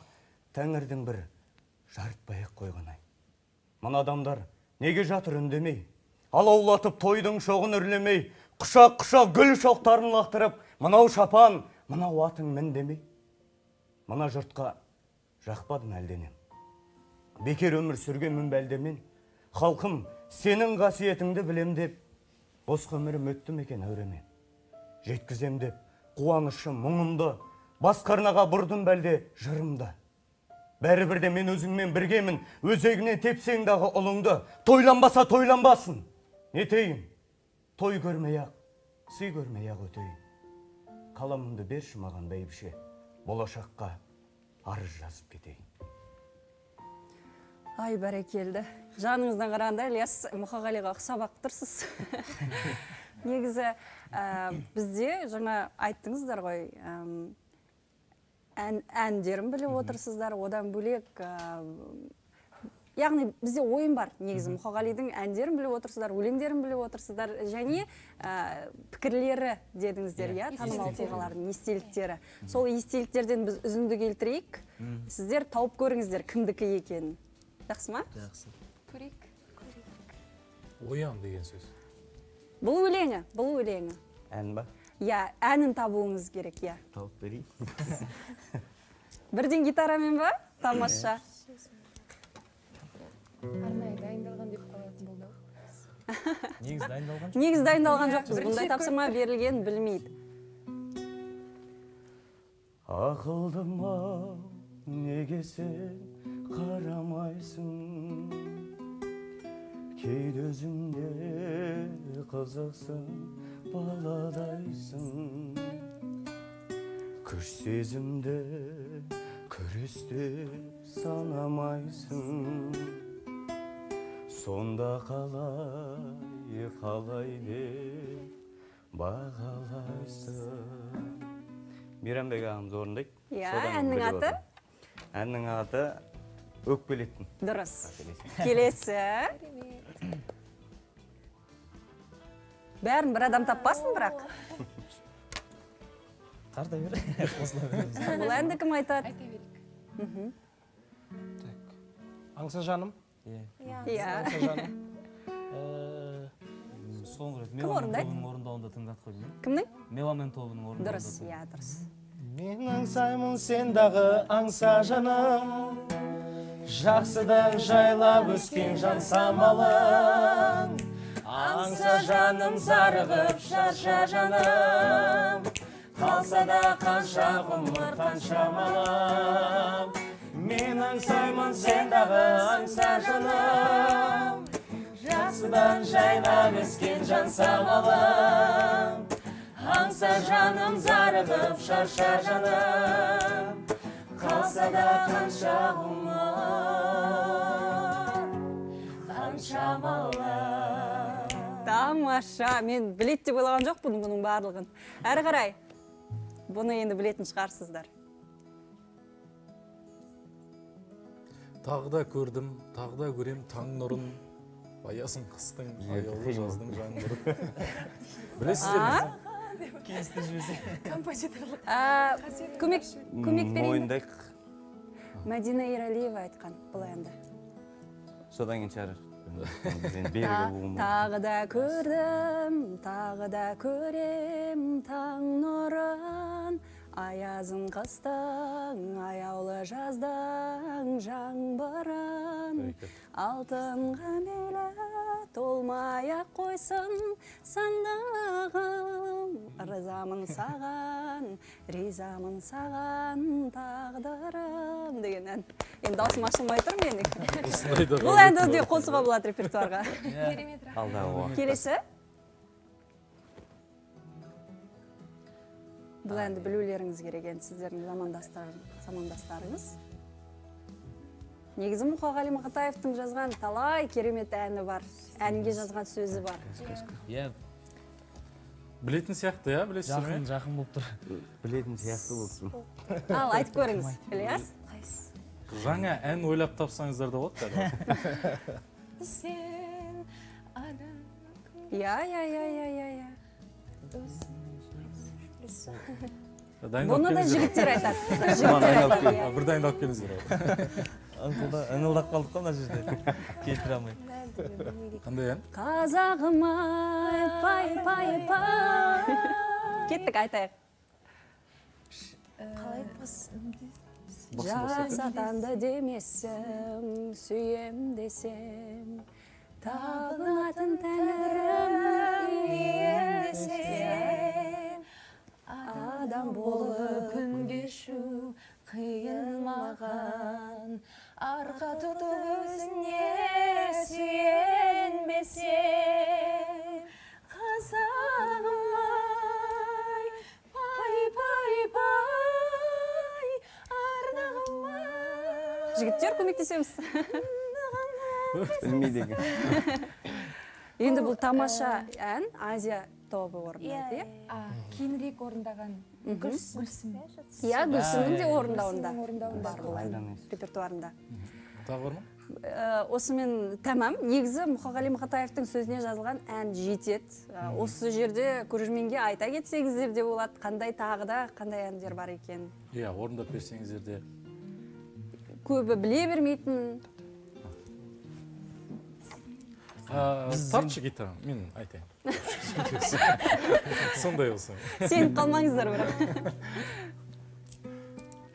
Нұр жауып тұрған көктемде гүл тере барсаң бөктерге. Қоңыраулатқан аспанды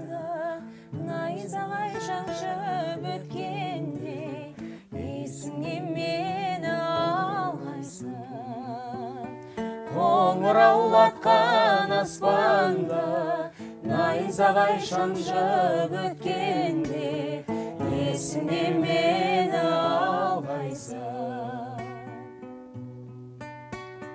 қаз бауыр бұлттар маңғанда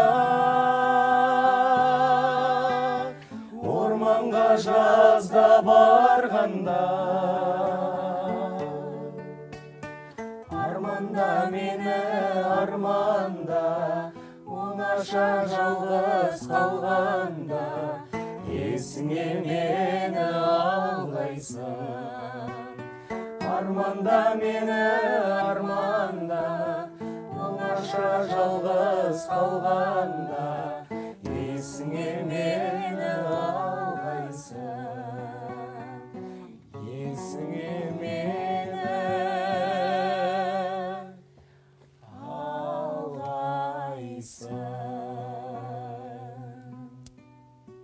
бәрекелді бұл да мұқағали мақатаевтың мәңгілік өлмес туындысы.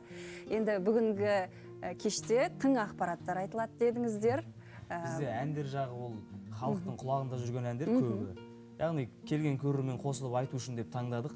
Тамаша. Ә, жаңағы мынау сіздерден өзіміз естімеген әндерді естіп отырық. Ал бізде ән жағы енді көп білетін әндер. Ал естеліктер ол ешкім естімеген тың естеліктер деп ойлаймыз енді содан бөліссеңіздер күнделік деп аталады. Кеш Иә. демек дүкенбай досжанұлының аударған күнделігімен таныс болдыңыздар иә? мұқағали күнделігін орыс тілінде жазған ғой көбіне. Иә сол кішкентай кітапша бар анау барлығы білетін шығар енді оқыған. Сол кітапшадағы мұқағалидың өзінің жаңағы жылдарымен хронологиясы жазылып отырады. Сол естеліктің сол күнделіктің желісінде монологтар оқисыздар. Иә.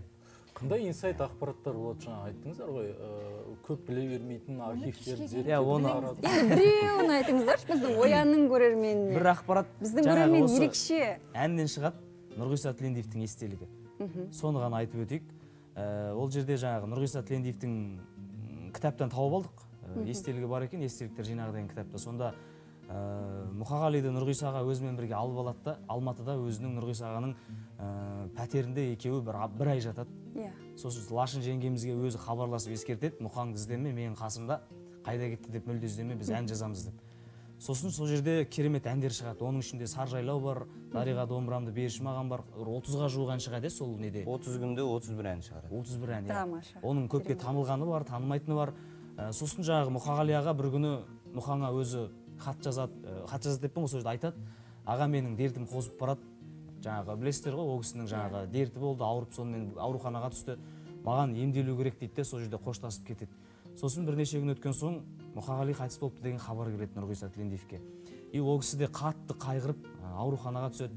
Сосын ауруханадан шыққанда жаңағы өзінің киетін костюмі болады. Сол костюмін кигенде қалтасынан хат шығады. Сол хатты алып қараса жаңағы айтқан естелігіндегі тура сол жазуы бар. Жаңағы қатты дертім қозып кетті сондықтан да жаныңыздан кетуге мәжбүр болдым. Мына бір өлеңге зер салып көрсеңіз дейді сол жерде жазылған өлең есіңе мені алғайсың болады жаңағы қалтасынан шығатын хаттағы. Бірақ ол жерде әні мүлдем басқа. Біздің айтқанымыз бұл елена әбдіхалықованың әні ғой Иә, көпке иә. танылған иә. Ал біздің ол жердегі айтатын бір әніміз нұрғиса тілендиевтің кәдімгі өзі шығарған иә, айтып берсеңіздерші ол иә оны енді қалдырайық. эксклюзив дейсіздер ғой, Иә, өзімізде. қылып. сол бір жақсы жаңалық болайын оны өзіміз де естігенде таңқалдық әп әдемі ән неге ешкім айтпаған деп өйткені шынында да әуені нағыз қазақи жаңағы нұр ағамыздың өзінің мақамына келетін бір ерекше ән екен соны біз сол кеште үзіндісін айтып береміз хит болып кететін шығар деп иә құрметті көрермен әзірбайжан мамедов атындағы мемлекеттік театрының актерлері бүгін бізде қонақта болды тағы бір ескертіп айтып кетейік иә иә кешке сағат жетіде. Жетіде. Мәмбетов театрында кездесеміз. Ә, нақты адресі мекенжайы ол мәңгілік ел. В екіде үш деген Иә. экспо жақта тура жанында орналасқан. Өзіміз сөйтіп айтамыз шардың дәл қасында деп.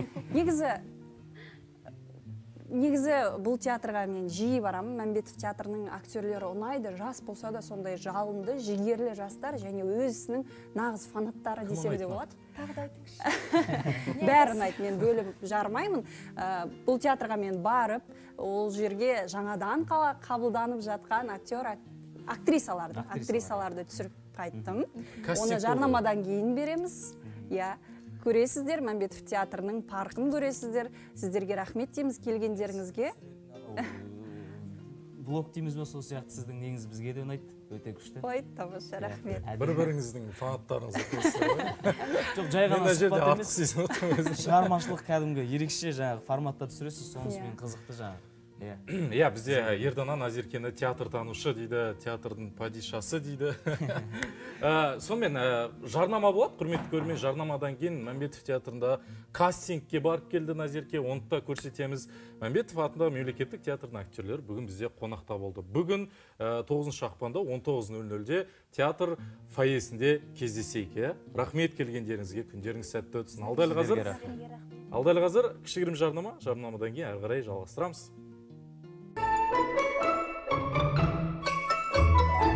Оян. Қайырлы таң, құрметті көрермен. Эфирде Оян таңғы хабары жалғасады. Иә, ә, хабарымыздың бел ортасына келіп қалыппыз. Бір жарым сағат ә, көзді ашып жұмғанша өтіп кетті. Сонымен бізбен бірге болыңыздар. Тағы бір жарым сағат бар. Тағы бір жарым сағат қызықты ақпараттар сіздерді таңғалдырамыз. Иә жаңа ғана бізде мәмбетов театрының актерлері келді. Кешке болатын мұқағали мақатаевқа арналған кешті ә, ә, кеш туралы айтты қысқа нұсқа иә. Енді ол театрға жаңадан қабылданып жатқан актрисалар бар. Олар бүгінгі кеште бой көрсете ме жоқ па білмеймін. Бірақ олардың ә, қабілетін мүмкіндігін сюжет арқылы көрсеткім келді. Қараңыздар театрдағы кастинг қалай өтеді ә, қандай атмосфера ол жерде деген сияқты енді. Ә, көресің енді өзің.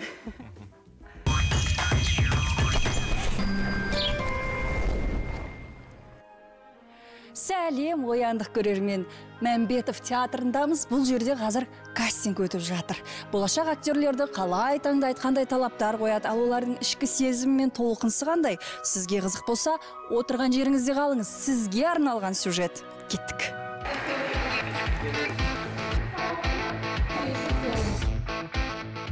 Үлкен сахнаға шығу маған ондай көп шықпайтынмын.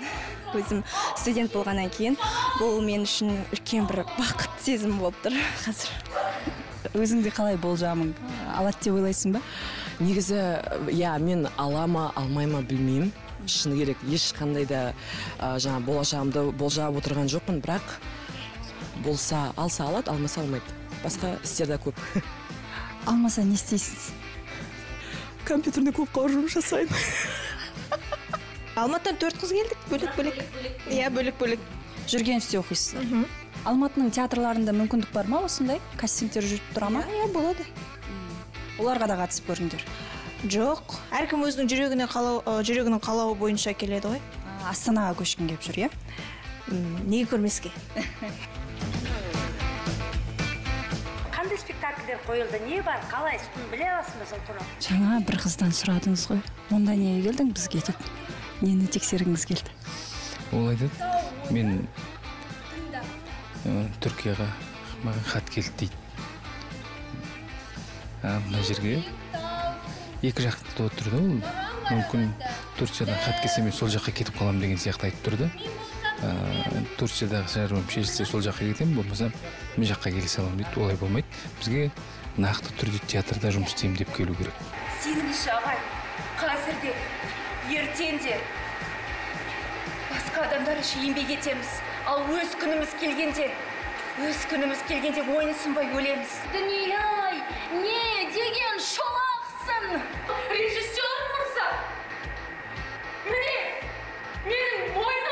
Мінезді актриса іздеп отыр кәдімгідей.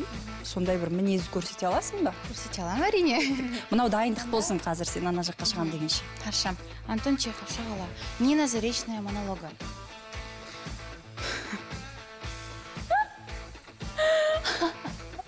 не деп тұрсыз? Қателесесіз? Шағала емеспін. Актрисамын. Актриса. Өткенді қанша өшіргеніммен жасырмас оны өлеңім.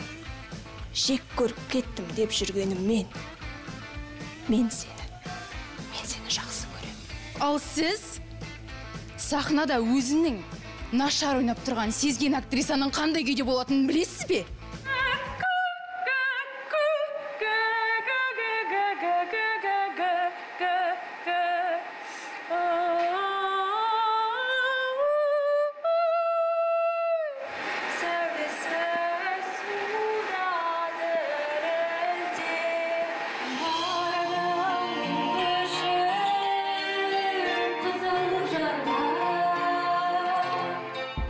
Бәрі сол біздікілердің жіберіп жатқан. Мына жермен ғана сөйлейді да. И бүйтіп өте бір ұқыптылық. Менге менің ойымша ондай емес. Ол қалай ес шеш деді ме шеш тұр деді ме тұр қасы деді ме басын. Сондай болу керек сияқты. Солай болу керек сияқты солай болу керек. Та таратита. Таратита та та та. Таратита та та та та. Таратита та та та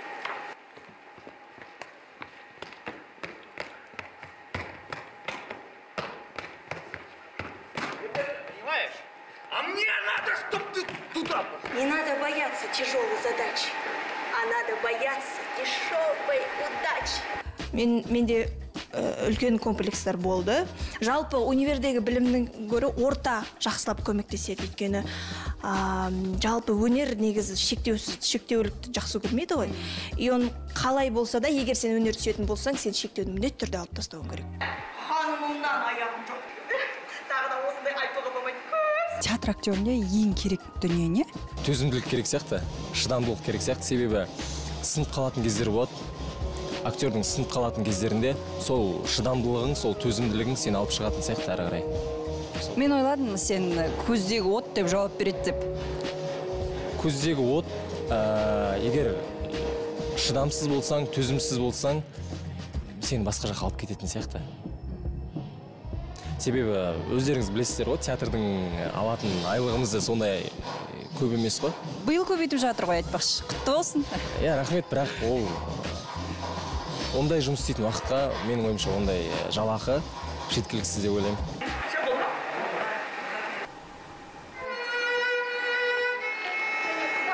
Берем деп жазып қойған қыз осы қыз ба? Иә осы.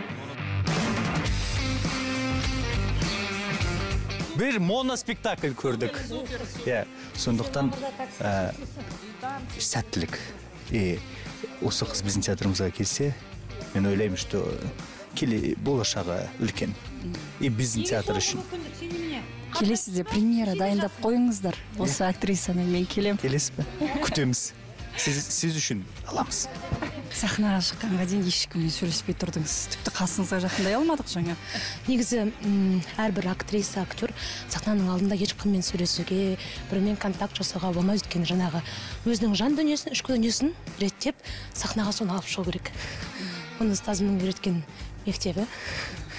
Бірақ сіз мына театрға келсеңіз үйрене беріңіз бұл жақтың актерлерінен мен сұрай беремін спектакль алла жазса енді бұл сахнаға шығу маған бұйырса? Үйренемін де дайын боламын.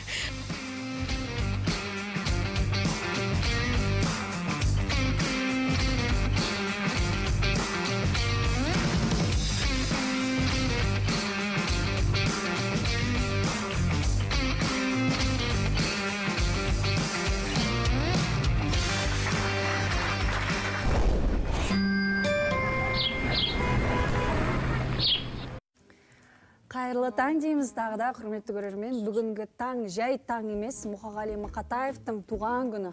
Иә.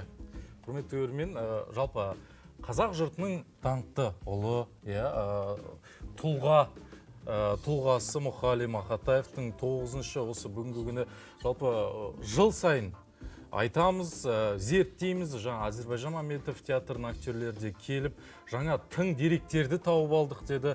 Ә, жыл сайын айтуға тұрарлық жалпы бір қызық айтайын ба? жылда осы күн демалыс күндерге келіп қалатын және эфирге бұл күнді ә, эфирде атап өту айтып өту мүмкін бола бермейтін. Иә. бүгін жұмаға түсті ә, Иә. иә бейсенбіге түсті қуаныштымын. Иә. демалысты жақындатып Иә. жатсың жұманы күтіп жүрсің Иә. сонымен ә, мұқағали мақатаевтың ә, ә, бүгінгі күні иә қандай есіммен бізге еске аламыз Ә, оның мұрасы қандай және қандай әндерін бүгінгі күні біз сахнада шырқап жүрміз өлеңдерін жастар айтып жүр оның барлығын біз білеміз енді тағы да тың деректер мұқағалидың осы мұрасы тақырыпта- жайында әңгіме өрбітсек қазір Иә. Осы тақырыпта ә, көз іліп тұрып әңгіме айта алатын ә, бір бірімізді түсінісе алатын ә, ақын серік сейтман келіп отыр. Ұлымен бірге. Сәлем. Қалың қалай? Иә. Одан кейін студиямызда еділ жораев арман ғабдуллин ербол құдайбергенов бізге ән шашуларын ұсынады. Қош келдіңіздер. Қош көрдік. Серік аға ұлыңыз. Бүгін бізде қонақта. Ұлыңызды бірінші рет теледидардан көріп отырмыз. Ә, бізге ә, мұқағалидың шығармасын орындап берсе. Иә? Ә, балқай қалайсың не есім құдайберген иманғали иә? Иманғали есімі иә. Сонымен ә, мұқағалидың бір өлеңін оқып берсең бізге. Мұқағали мақатаев отан. Мен оның сенімдірек өзіңе. Мен оның түнін сүйем күнін сүйем ағынды өзен асқарда гүлін сүйем. Мен оның қасиетті тілін сүйем мен оның құдіретті үнін сүйем. Бар жәндігін сүйемін қыбырлаған. Бәрі маған отан деп сыбырлаған. Жаным менің кеудемді жарып шықта боз торғайы бұлының шырылдаған. Отан отан бәрінен биік екен. Мен оны мәңгілікке сүйіп өтем. Отанды сүймеуінде күйік екен отанды сүйгенінде күйік екен. Ай тамаша. Түсініп тұрсың ғой иә өлеңнің мағынасын? Түсіндірді ма? Серік аға түсіндірді ма? Иә. Енді әкесі ақын болғаннан кейін бұндай сұрақ қою заңды иә? Ақынның мұрасын келесі буынға жеткізіп жатқаныңыздың көрінісі ғой бұл. Ә, өзіңіздің өміріңіздегі орны үлесі мұқағали мақатаевтың қандай болды? Енді біріншіден бүгін поэзия күні поэзия мерекесі. Сондықтан бүкіл қазақ жұртын осы хабар телеарнасының көрермендерін шын жүректен құттықтаймын. Менің өмірімде әрине ә, мынау қадыр мырзалы ә, ағамыз айтады ә, оқу ежіктеуден өсу еліктеуден басталады дейді. Біз ә, бізді ел ә, сәл ақын деп таныса біз осы мұқағалиларға ә, шахановтарға қадыр ағаларымызға еліктеп бірінші жастанып сол кісілердің кітаптарын оқыдық. Сонда мынау ә, мұқағалидың мысалға ә, мынау өте ауыр кезеңдегі ә, бір дәуірдің ә, суретін бір жеңгесінің бейнесімен ақ бере салған өлеңі қандай? Ә, қартайып қалыпсың ау қайран жеңгем деп басталады да картаның валетінде едірейіп қасыңа мына біреу қайдан келген? дейді. Көрдіңіз ба? Анау қиын кезеңдегі мынау ә, жарынан айырылып соғысқа кеткен ә, сонымен ә, жесір қалған ә, жеңгесінің бейнесін мынау өлеңге сыйғызу арқылы сол дәуірдегі бүкіл қазақ қоғамының қасіретін көрсетіп тұрғандай да. Сол айтқандай біз де студент болдық. Студент кезімізде мынау университетте оқыған кезде марқұм ілесбек тәшімұлы деген ағамыз ә, жатақхананың бір бөлмесін берген. Сонда сенбі жексенбі күні есікті айқара ашып қойып медиктер бар ә, мынау спорт фактінің жігіттері бар солардың бәрі менің есігіме жаңағы ә, кептелек болып ә, сонда поэмаларды оқып беретін тұғым сонда соның біреуі мұқағалидың аққулар ұйықтаған ұйықтағандасы еді. Көрдіңіз бе? Сонда бұл менің ғана өмірімде емес менің оқырмандарымның тыңдармандарымның өмірі. Сондай ақ мынау біздің бізбен ғана шектеліп қалып жатқан жоқ. Ә, біз де кезінде осы ә, ұлымыз сияқты дәл осы өлеңді жатқа оқыдық оқып соғып тұрдық мысалға. Ал енді бізден кейінгі буын осы балаларымыз оқып келе жатыр. Ертең осы балалардың ұрпақтары оқымасқа кім? Бәрекелді. иә. Бұйыртса жалғасын таба береді деп ойлаймыз. әрине әрине. Енді мұқағалидың сөзіне жазылған қаншама ән біздің эстрадамызда орындалады барлығы дерлік жатқа білет ол әндерді. Сонымен бүгін бізде қонақта ербол құдайбергенов әнші. Ереке өзіңіз сол бір әндерден иә жыр шашу. жасасаңыз иә ассалаумағалейкум қазақ елі. Мен ә, бүгін астанаға ә, сонау мұқағалидың елі хантәңірдің етегі алатаудың бөктері ару алматыдан келіп отырмын бүгінгі қуанышқа. Ә, мереке Қош құтты келдіңіз. болсын. Мұқағали десе менің жас күнімде бала күнімде осы бір ән елестейтін еді көз алдыма. Ә, сөзі мұқағалидікі. Әні ә, белгісіз авторы. Біреулер айтады әсет бесеуовтікі дейді. Біреу айтады еркін бітанов деген ағамыздың әні екен. Ә, аққулар қош болыңдар деген әнді орындап берейін бүгінгі. Тамаша.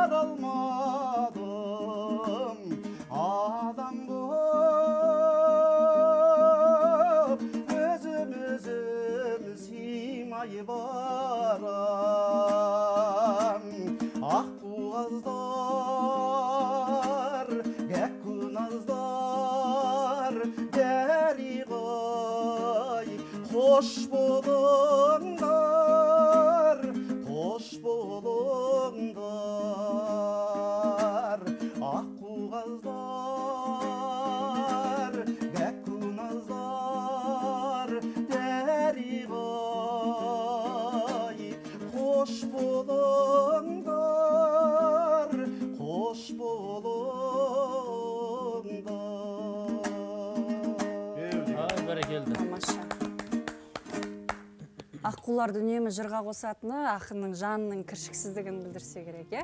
Иә. серік аға. Енді мұқағали. дәл сондай кіршіксіз жаны бар. Тағы бір сұлу ақын келіп тұр. Иә танагөз толқынқызы бүгін бізде қонақта құрметті көрермен. Танагөз ханым қайырлы таң. Келіңізші сізді жанымызға алып отырып сұхбаттасайықшы. Қайырлы таң. Қандай әдемісіз. Өзіңіз аққудай болып киініп келіпсіз расымен. Иә айтпаңыз. Енді жаңа серік ағадан сұрап жатырмын. Өзіңіздің ақын болып қалыптасуыңызға қандай әсері үлесі болды деп? Жалпы мұқағалидың ә, қолына қалам ұстаған ақындарға әсер етпегені кемде кем шығар. Ә, менің әкем нарынқол өңірінен мен 13 жасыма дейін нарынқолда өстім.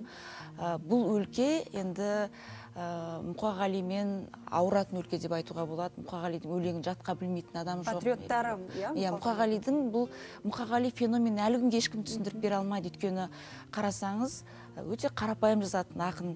Бір оқыған адам е мынандай өлеңді мен де жаза аламын деген сезім кешеді.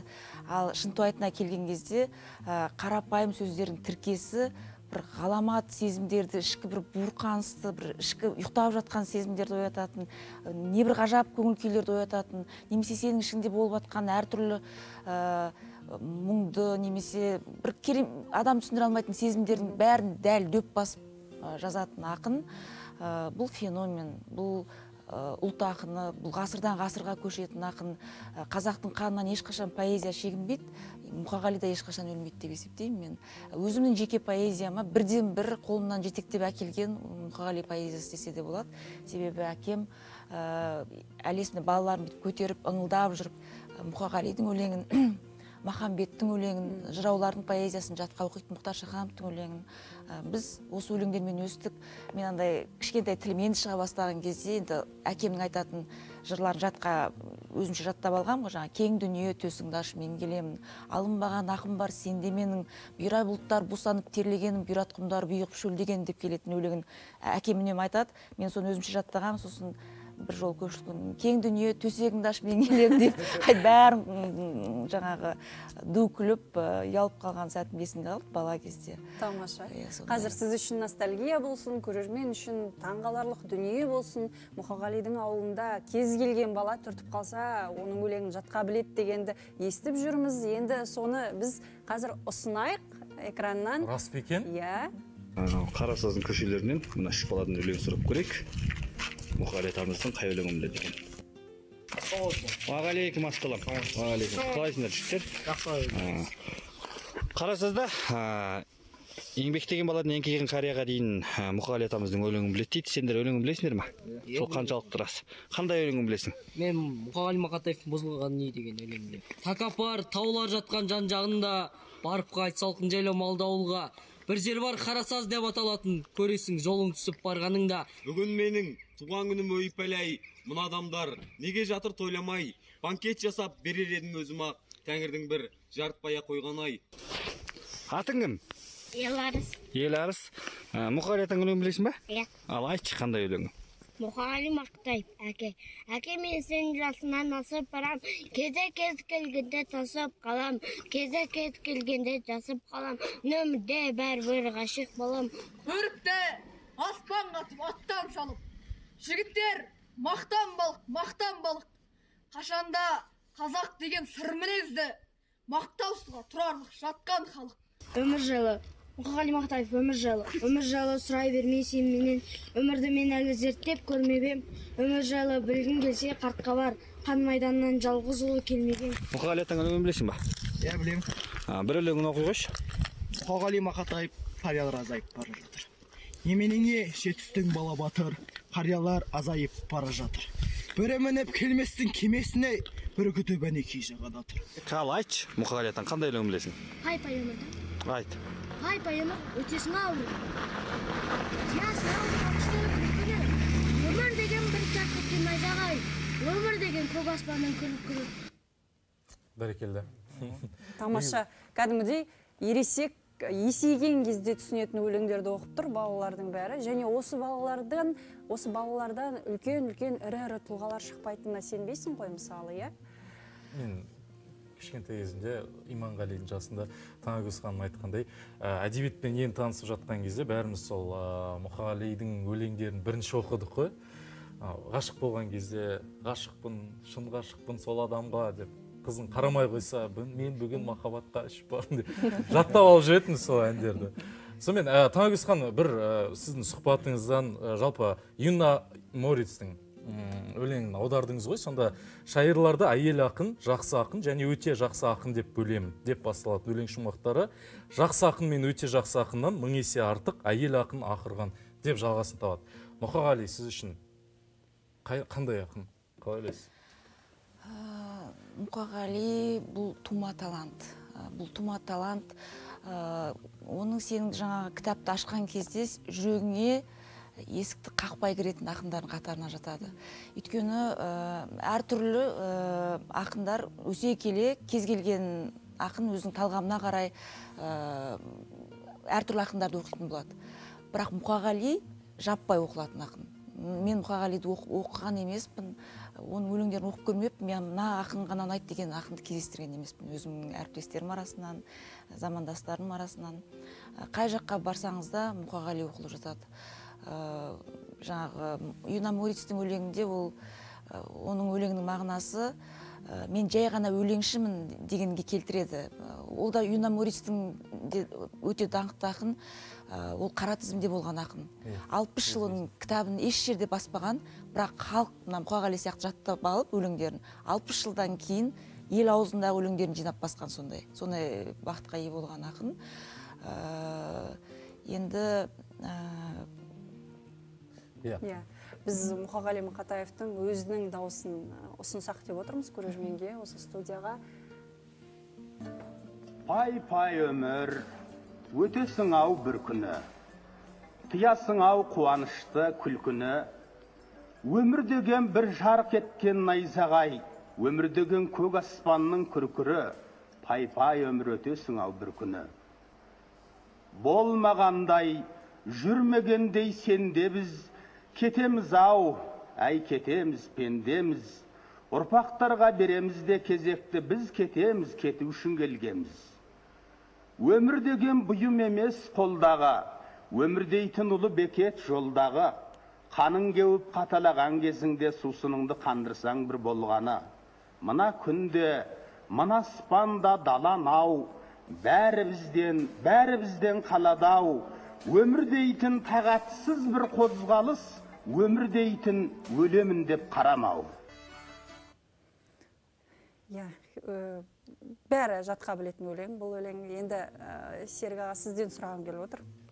Мына ә, мұқағали мақатаевтың кезінде талай өлеңі жоғалды. Оны ол- туралы күнделіктерінде де айтылды жазылды. Талай өлең оның атын да жамылып таралды иә халыққа. Сол туралы айтыңызшы кейбір ұятсыздау өлеңдер бар.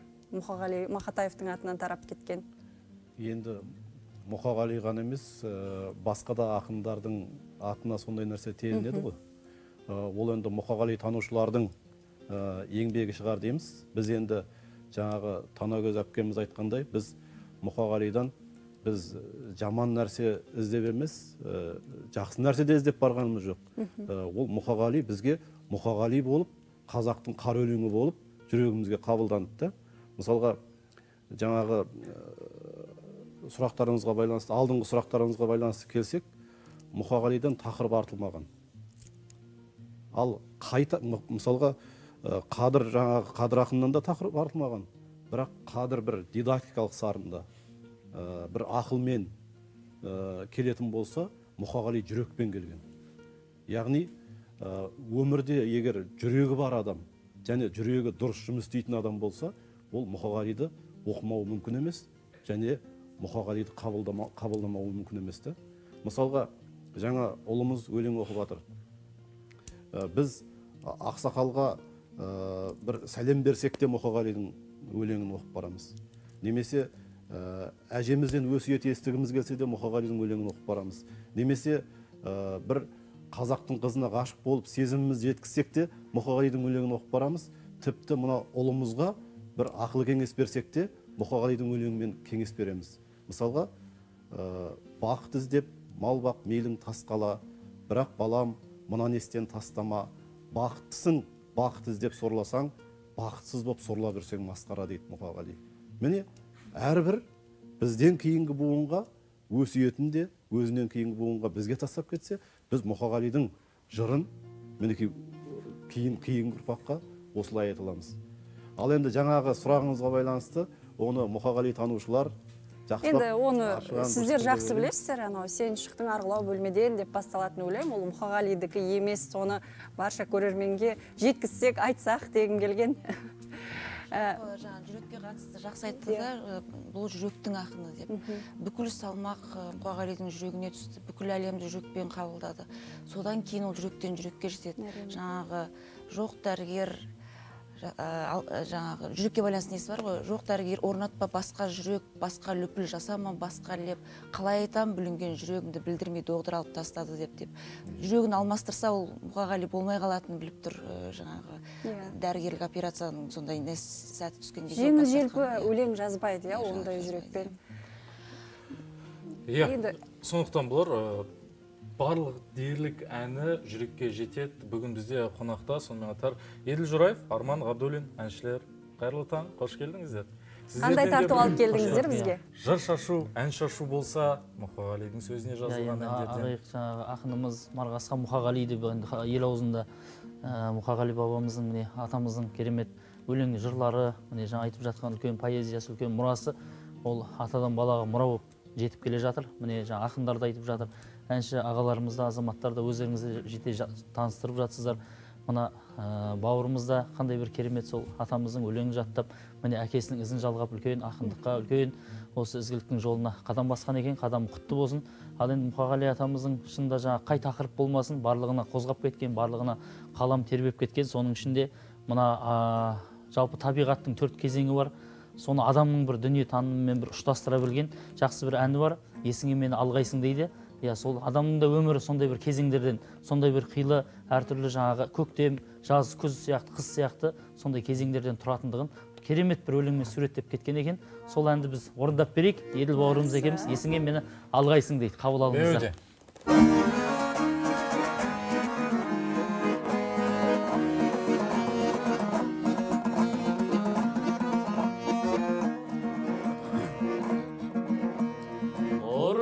Тұрған көктемде гүл тере барсаң бөктерге қоңыраулатқан аспанды найзағай шаншып өткенде есіңе мені алғайсың қоңыраулатқан аспанды найзағай шаншып өткенде есіңе мені алғайсың қазбауыр бұлттар мағанғанды орманға жазда барғанда. Мен бар деп мынау жалғанда жоқ деген сөзге алданба. Есіңе мені алғайсың мен бар деп мынау жалғанда жоқ деген сөзге алданба есіңе мені алғайсың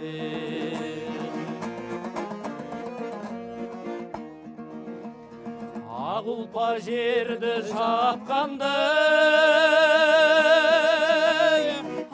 ағаштар сырға таққанда бозарып аққан ақтанда бозарып тұрып ақпанда есіңе мені алғайсың бозарып аққан ақтанда бозарып тұрып ақпанда есіңе мені алғайсың арманда жаным арманда. Мен бар деп мынау жалғанда есіңе мені алғайсың. Есіңе мені алғайсың.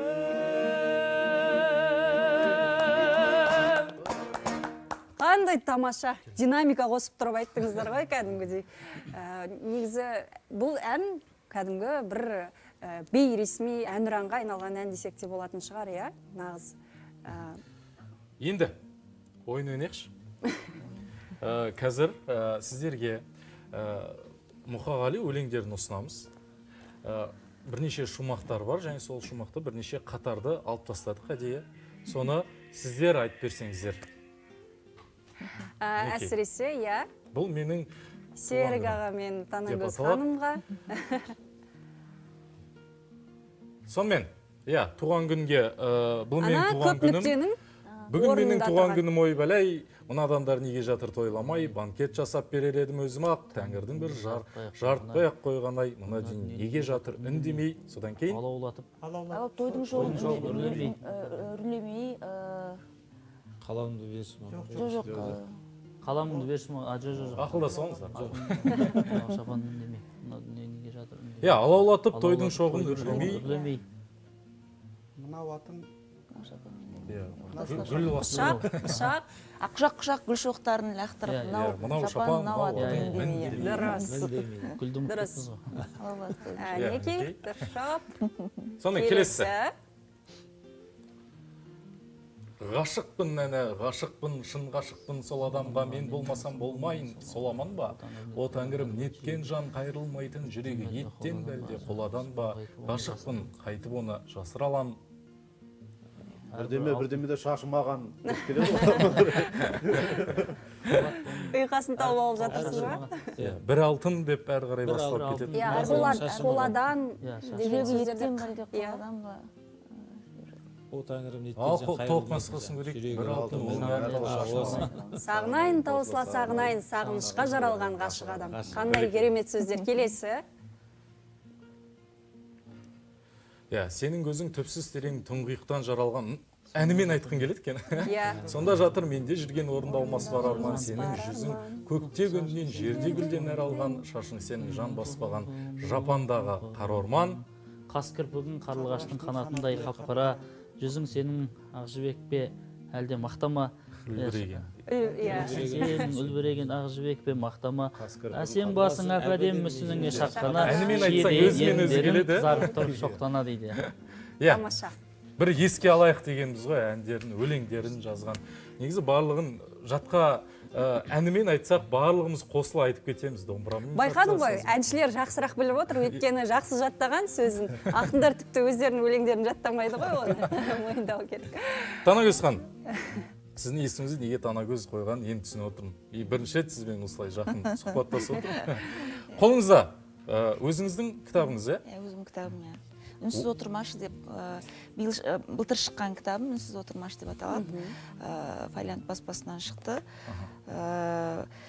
Мен енді қазір мына поэзия кештерін басқа форматта өткізу поэзияны басқа форматта насихаттаумен айналысып жүрмін.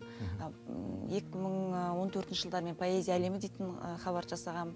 Ә, биыл поэзия қағанаты деген бағдарлама шықты. Бұл жердің ерекшелігі жас ақындарды насихаттаймыз орта буынмен. Көбіне бізде телеарналар ақындарды елу бестен алпыс жетпіс сол жаста портреттік бағдарламалар түсіреді ғой. Бұл бағдарлама ә, жаңа жастарға арналған. Өйткені бәрібір қазақ поэзияны жақсы көреді. Бұл айтыстан бөлек өнер ғой енді жазба өнер. Ә, енді қазір ақындардың кештерін ә, жаңағы атмосфералық бір әдемі кофейняларда ақылы форматтарында жасауды қолға алып жатырмын. Өзім де сондай бір жақында кеш бермекшімін. Құдай бұйырса көктемнің алғашқы күнінде астанада бірінші керемет. ә, наурызда. Сол кезде сізді осы жерге тағы шақырамыз. Бұйырса. Иә. Ә, айтып жатырмыз ғой қырық бестен былай қарай ә, жарнамалайды деп Иә. теледидарда көрсетеді қырық беске дейін қырыққа дейін жастар бар ғой әрине бар. Көп. мысалға Иә. шабыт фестивалінде бір жыл болған мен өзі бір ақ рет сол ша- шабыт фестивалінде жюрилердің қатарында болдым. Иә. сол жылы 300 ақынның өлеңі келіп түсті. Ол негізі айтады осы- жастар Иә. тек қана жастар. Сұрағым келгені негізі айтады осы жастардың ә, шығармашылығында ә, мұқағалидың сарыны байқалады деп айтып жатады. Сол рас па? Негізі Мұқағали- мұқатаев жаңа дәуірін бастаған адам ғой Иә, поэзияның поэзияның сол дәуір әлі жалғасып жатыр десек те болады. мүмкін өйткені ол мұқағали қара өлеңмен жазған қазақ қазақ ақындары әлі қара өлеңнен бас тартқан жоқ иә? Иә. бәріміз ақ өлеңге көшіп кеткен жоқпыз немесе европалық стильге ауысқан жоқпыз әртүрлі бағыттардағы. Қара өлең ол негізі қазақтың негізі. Сондықтан оның әр ақынның ә, жырларында соның көріністері жүруі ол қалыпты жағдай деп есептеймін. Әркім өз жолын тапқанша. Әркім өз жолын тапқанша сүрлеуіне түскенше. Бәрекелді. Енді ә, құрметті көрермен мұқағали мақатаевтың бүгін туған күні ә, жаңа тың деректерді айтқымыз келеді. Жалпы ә, мұқағали мұрасын тағы да иә еске салып ә, айтқанды жөн көріп отырмыз. Сондықтан эфирімізден алыстамаңыздар. Дәл қазір кішігірім жарнама. Жарнамадан кейін әрі қарай жалғастырамыз. Оян. Көрдіңіздер ғой біз сіздермен. Тез қауышамыз асыға қауышамыз. иә құрметті көрермен бүгін мұқағали Мұқа- мақатаев жайында сөз қозғап жатырмыз енді. Серік аға ә, айтып жатырмық қой танагөз ханым да айтып жатыр ә, барша ақындардың бүгінгі ақындардың сүрлеуін салып берді деген секілді. Өзіңізде ә, мұқағали мақатаев о баста ақындық өнерді бастаған кезде ә, мұқағали сарыны байқалды ма? Немесе қазір? Оны енді бір ақын ағамыздан бір кісі сұрапты дейді ә, дәл осындай сұрақ қойған ғой. Аха. сіз о баста жаңағы ә, мынау сюжетті шығармалар жазатын едіңіз баллада поэмалар ә, бір эпикалық сарын бар еді. Қазір неге олай жазбайсыз деген сияқты сұрапты дейді. Сонда ол ақын айтыпты дейді менің міндетім жүрегіме не келеді соны жаза беру ал енді оны зерттеу жаңағы әдебиеттанушылардың міндеті деген сияқты да? Негізі серік сейтман деген ақынның кітабы бізде мектеп кезінде тарап кетті. Қолымызға бір бірімізден сұрап алып жүріп оқыдық. Ә, сосын ә, қолтаңбаңыз мүлде бөлек сіздің негізі. Бір өлең сұрағым келіп отыр. Өлең оқимын ба? Иә өзіңіздің шығармашылығыңыздан. Құдай бергенге дәлелдейік? Қандай өлең оқысақ екен? Енді жан, екі жанымда ә, домбыра ұстаған екі жігіт отыр ғой. Иә. осы жігіттердің құрметіне мына домбыраның құрметіне ә, жалпы қазақ деген халықтың құрметіне домбыра деген өлеңімді оқып берейін. Нағыз қазақ арғы атамның баяғы арғы өмірге аттап кетті аяғы арғы атамның көзін көрген қауымнан көзетірі домбыра ғой аялы. Тақымыңа тайғақ кешу жолдасын. Мықты болсаң сонда рухың солмасын. Қоңыр даусын жоғалтқан жоқ домбыра қақ төбесін ойғанда да қорғасын. Сол домбыра қасиеттім киелім одан артық кімді қалай сүйемін? Төрімдегі бас қонақ қып сүйегін мойнымдағы тұмар еттім тиегін. Домбыраның пернесінде ән ғажап домбыраның шанағында зарлы азап қазақ болып қалды мәңгі домбыра домбыра болып қалса екен ау әр қазақ. Тамаша махаббат лирикасы. Әрине. Иә махаббат лирикасынан білемін тұншығатын түндерді бөліспедік күн шығатын күндерді бөліспедік ынтығатын кездерді бөліспедік ұмтылатын сөздерді бөліспедік өрт пен уды қақ бөліп теңішпедік сүйдік және жек көрдік беріспедік көріспедік өбісіп өліспедік теріс кетіп барамыз теріс келіп. Ештеңеге ешқашан келіспедік. Сүю хақ қой. Сонда да сеніспедік. Жара салмау жолыма ібілістің жара салмау емес ол періштелік. Жанарымда қанша күн боталадың. Мен сонша рет кештім ғой оталаңын. Сен ішіме сыймадың отадамы мен сонда да атыңды атамадым. Ақыл менен жүректің мәртегесі. Маған таныс бұл өрттің әр төбесі екеумізге бұйырған. Бақ шығар бұл. Сүймеу жанбау сағынбау мәртебесі. Иә құрметті көрермен бұл арқылы, арқылы біз қазіргі қазақ поэзиясының ә, екеуміз иә, алма кезек өте берейік farқын көрсеткіміз келді иманғали. Сөйтіп негізі ә, мұқағали мақатаевтың түп- өлеңдерінің таза ғана емес кәдімгі черновой дейді ғой сызылған өшірілген қайта жазылған ә, парақтары да сақталған. Кезінде соны неге сақтадың деп сақтап жүрсің деп жұрт сұраған кезде не деген мұқағали мақатаев? Ә, өйткені ертең музейге қойылса керек болады деген. Яғни өзінің тарихта қалатынына сенген ақын ғой иә? Иә одан бөлек жаңағы ә, лашын апамыздың айтқан бір естелігі бар ғой ә, мебельді дейді иә жиһазды ауыстырады. Күнделікті ауыстырып тұратын ә, келген адамдар жаңа жиһаз алғансыңдар ма деп таңқалатын деген секілді. Сол естеліктермен бөлсекші мұқағали жайында өздеріңіз білетін мүмкін біз білмейтін деректер бар шығар сіздер зерттеп көрген. Біз мұқағалидың замандасы емеспіз ғой оның қасында жүріп естеліктер айтатындар енді жаңағы ә, тарихта қалу туралы сіздерде сондай сенім бар ма сіздер бірдеңе сақтайсыздар ма ертең сіздерге арнап ашылатын Иә. музейлерге біз, бізден бір мұра іздесе бір ноутбугіміз алатын шығар деп ойлаймыз енді. Бір жаман жері, иә? Электронды дәуірдің. заман мен қағазға жазамын әлі күнге дейін бірақ енді бәрібір де қағазға. шығарып алып оқығанға жетпейді мысалға мерзімді ә, баспасөздердің де ә, интернетте арнайы сайттары бар. Олардан компьютерден оқыған күннің өзінде ол қабылданбайды дұрыс. Мен оларды ұнаған, ұнаған ақпараттарым болса қағазға шығарып алып барып оқимын. Сол айтқандай жаңа танагөз әпкеміз айтқандай әлі күнге дейін бірдеме жазатын болсақ алдымызда қағаз қалам тұрады. Содан кейін барып оның дайын нұсқасын компьютерге ә, теріп сөйтіп сақтайтын ә, жөніміз бар. Енді жаңағы дерек дегенге келсек мұқағалидың туған күні бүгін деп тойлап жатырмыз ғой бірақ ә, осы ә, ораз ақын Наурызда асқар деген ағамыз иә. көп білетін еді енді. Ә, ол кісі жайында өзім радиода қызмет істеген кезде де осы мұқағали жайында ол кісіден көп сұхбат алғам бүгін олар мұқағали ескерткішінің жанында жиналып жатқан шығар. Өйткені ораз ақын асқар ағамыз сол жерге баратын алматыда дүние, дүние салып кеткен болу керек ой. Иә. Сол кісі сол кісінің жазбасы бар. Сосын мына мұқағали ақынның жарының жазбасы да бар екен. Біраз деректерде мұқағали негізі 8 наурызда туған деген дерек бар. Иә. Оны мұқағали ақынның өзінің анасы да естелігінде ә, жазған болса керек жоқ әлде сұхбат бергенде ма?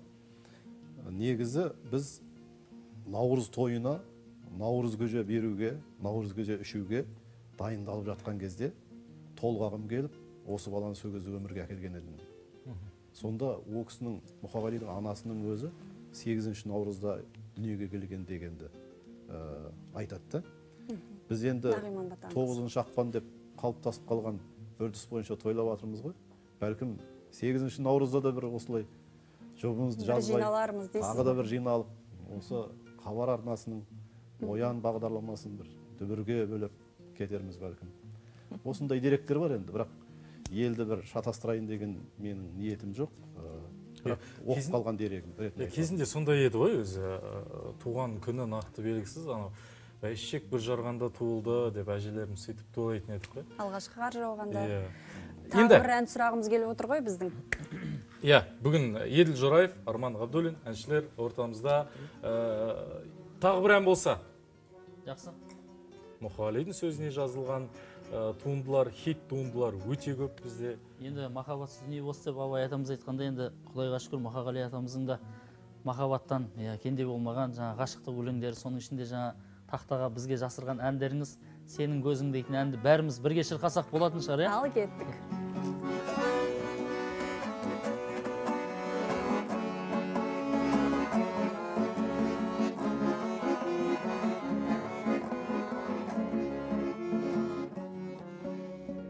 Сенің көзің түпсіз терең тұңғиықтан жаралған сонда жатыр менде жүрген орындалмас бар арман.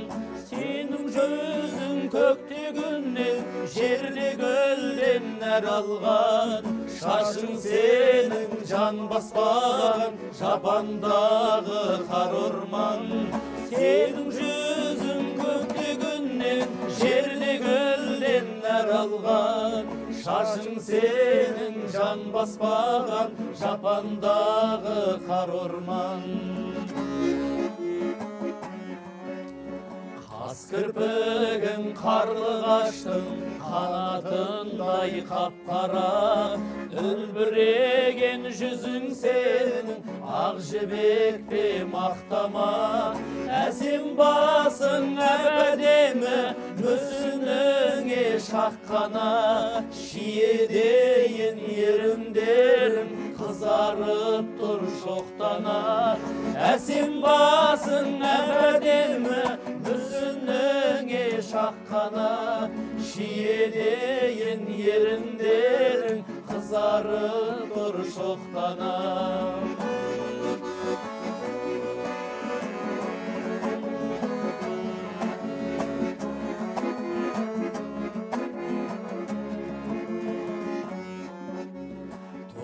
толықсыған тұла бойың шық бекен тал мекен билік сенің баяу атқан жазғы шұғла таң бекен күлкің сенің шашылған нұр сөзің кәусәр бал мекен бұл ғаламда сенен асқан сірә біреу бар екен күлкің сенің шашылған нұр сөзің кәусәр бал мекен.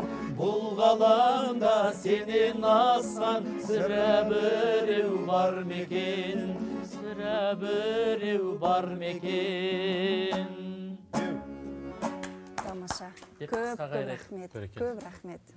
Иә құрметті көрермен бүгін бізде қонақта болған серік сейітман ә, танагөз толқынқызы ақын ә, еділ жораев арман ғабдуллин ербол құдайбергенов әншілер де келіп бүгін бізге мұқағали мақатаевтың ә, туындыларын орындап берді.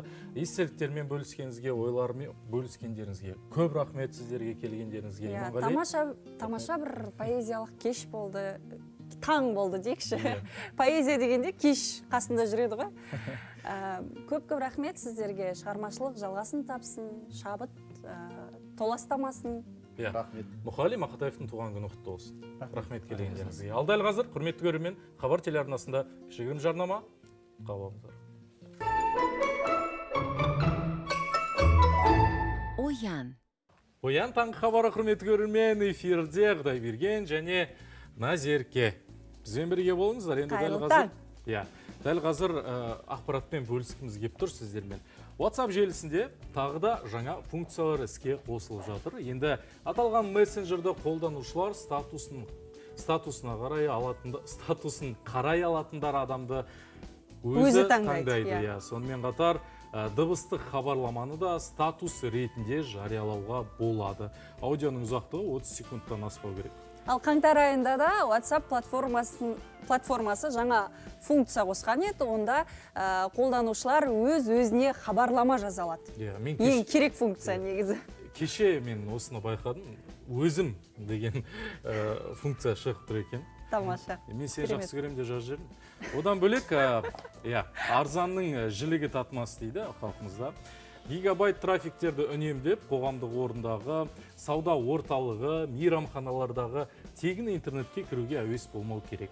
Телефонда ашық тұрған Wi-Fi-ға қосу өте қауіпті. Әсіресе алаяқтар мен қаскөйлер осындай тегін интернет арқылы пиғылын жүзеге асырады. Ақпараттық қауіпсіздік саласының мамандары осындай кеңес айтады.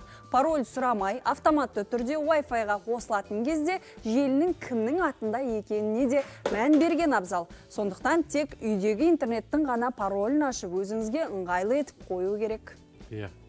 Мүлдем телефон ұстамай қойыңыздар деген ақпарат шығатын сияқты бүгінгі кезде. Иә өте қауіпті құрметті көрермен. Иә. ақпараттық технологиялар дамыған замағанда кез келген ақпараттың иә банк карточкасы да осы ә, телефонға жалғанған ғой қазір бүкіл ақшаңнан да жалпы ақпараттан да айырылып қалуың мүмкін. Сондықтан абай болыңыздар. Телефон сізге ғана тиесілі емес негізі. Иә. сіздің қолыңызда жүргенмен оның ә, сыртқа шығарып жіберуі мүмкін ақпараты көп. Өйткені ә, кәдімгі қарапайым күнделікті өмірде бірдеңені айтып отырсаң сол соның жарнамасы шыға келеді ғой алдыңнан. Әрине. иә. Иә кеше мен ә, фитнес жайында іздегем Мгм. сонымен фитнес жарнамалары көбейіп кетті құрметті көрермен фитнесқа бармай ақ сіздер оян таң хабарын көріп сергек ә, жаттығуларды жасасаңыз болады оян да сергек бол құрметті көрермен ғалия мен аружан бүгін сіздерге қандай жаттығу ұсынады көрейік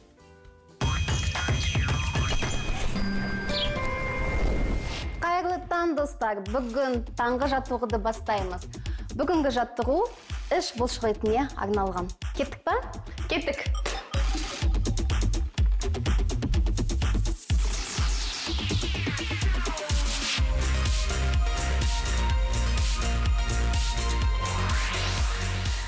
Бір аяғымызды пилатес құрылына қойып аламыз. Сол аяғымызды түзу ұстаймыз. Іш бұлшық етін қатайтып сол аяғымызды сермейміз. Бір екі үш. Жауырынымызды көтереміз дем аламыз аяғымыз сол аяғымыздың ұшын тартып тұрып жасаймыз. Сол аяғымыз сонда жерге тимеу керек қой иә? Сәл тиюге болады.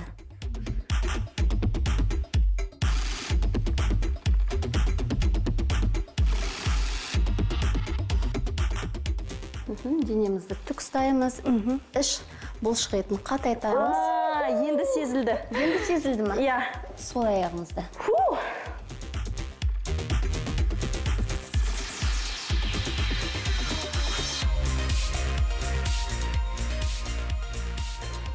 енді екі соңғы бір. Қалай сіздерге бұл жаттығу? Жаттығу керемет ә, бірақ кішкене қиындау екен. Себебі ә, ішкі бұлшық еттеріміз қатаймаған. Бұны әлсін әлсін жасаған кезде сіздер өзіңіз байқайсыз. Іш бұлшық еті қатайып жақсарасыздар. Келесі жаттығуымыз ол бұдан да күрделі болады. Ол үшін бізге және пилатес шеңбері мен пилатес добы қажет. Пилатес шеңберін аяғына қойып аламыз. Жақсы. Оң аяғымызды пилатес шеңберіне қоямыз да сәл басып тұрамыз. Жақсы ма? Сол бос аяғымыз сермеледі. Допты айналдырамыз. Айналдырамыз иә. Жақсы ма? Бұны он рет жасасақ болады. Жақсы ма дайынсыздар ғой көрейік.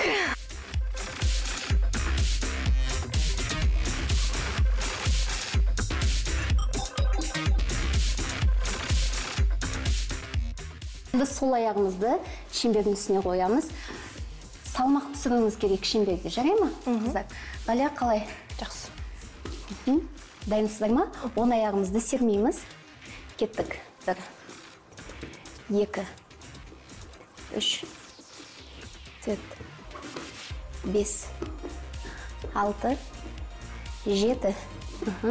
Сегіз. Демалыңыздар қыздар. Соңғы қалды бізде. Бес. Аяқ. Төрт. Түзу үш екі соңғы бір. істедің ғой келесі жаттығу келесі жаттығуымыз пилатес құрылғысын аламыз да тіземіздің ортасына ыңғайлы етіп орналастырамыз аяғымызды жинаймыз жақынырақ қолымызға сүйенеміз және бұл пилатес шеңберін қатты қысамыз бұны 30 рет жасасақ ең қимылсыз қалған бұлшықеттің барлығы іске қосылады. Онда көзімді жұмсам рұқсат шығар иә? Иә. Басқан кезде дем шығарыңыздар жарай ма? Дем аламыз. Шеңберді басқанда дем шығарамыз.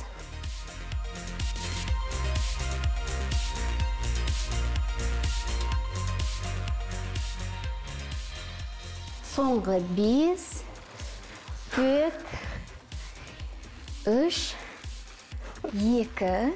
Соңғы бірін қысып аламыз да үздік үздік басамыз.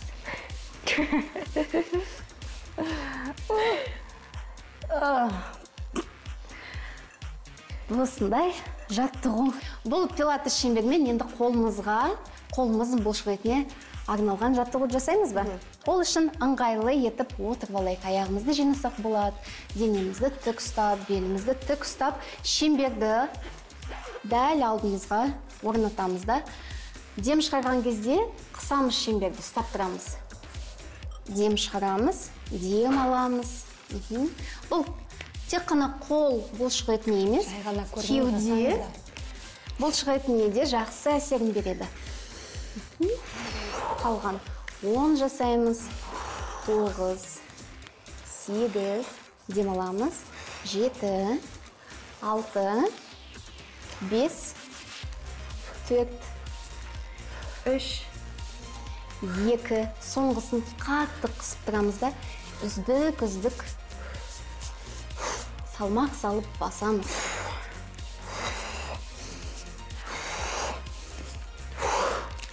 дем аламыз қатты дем алып қойдым ау деймін осымен бүгінгі жаттығуымыз өз мәртесіне жетті достар әр таңда бізбен бірге оянда жаттығу жаса.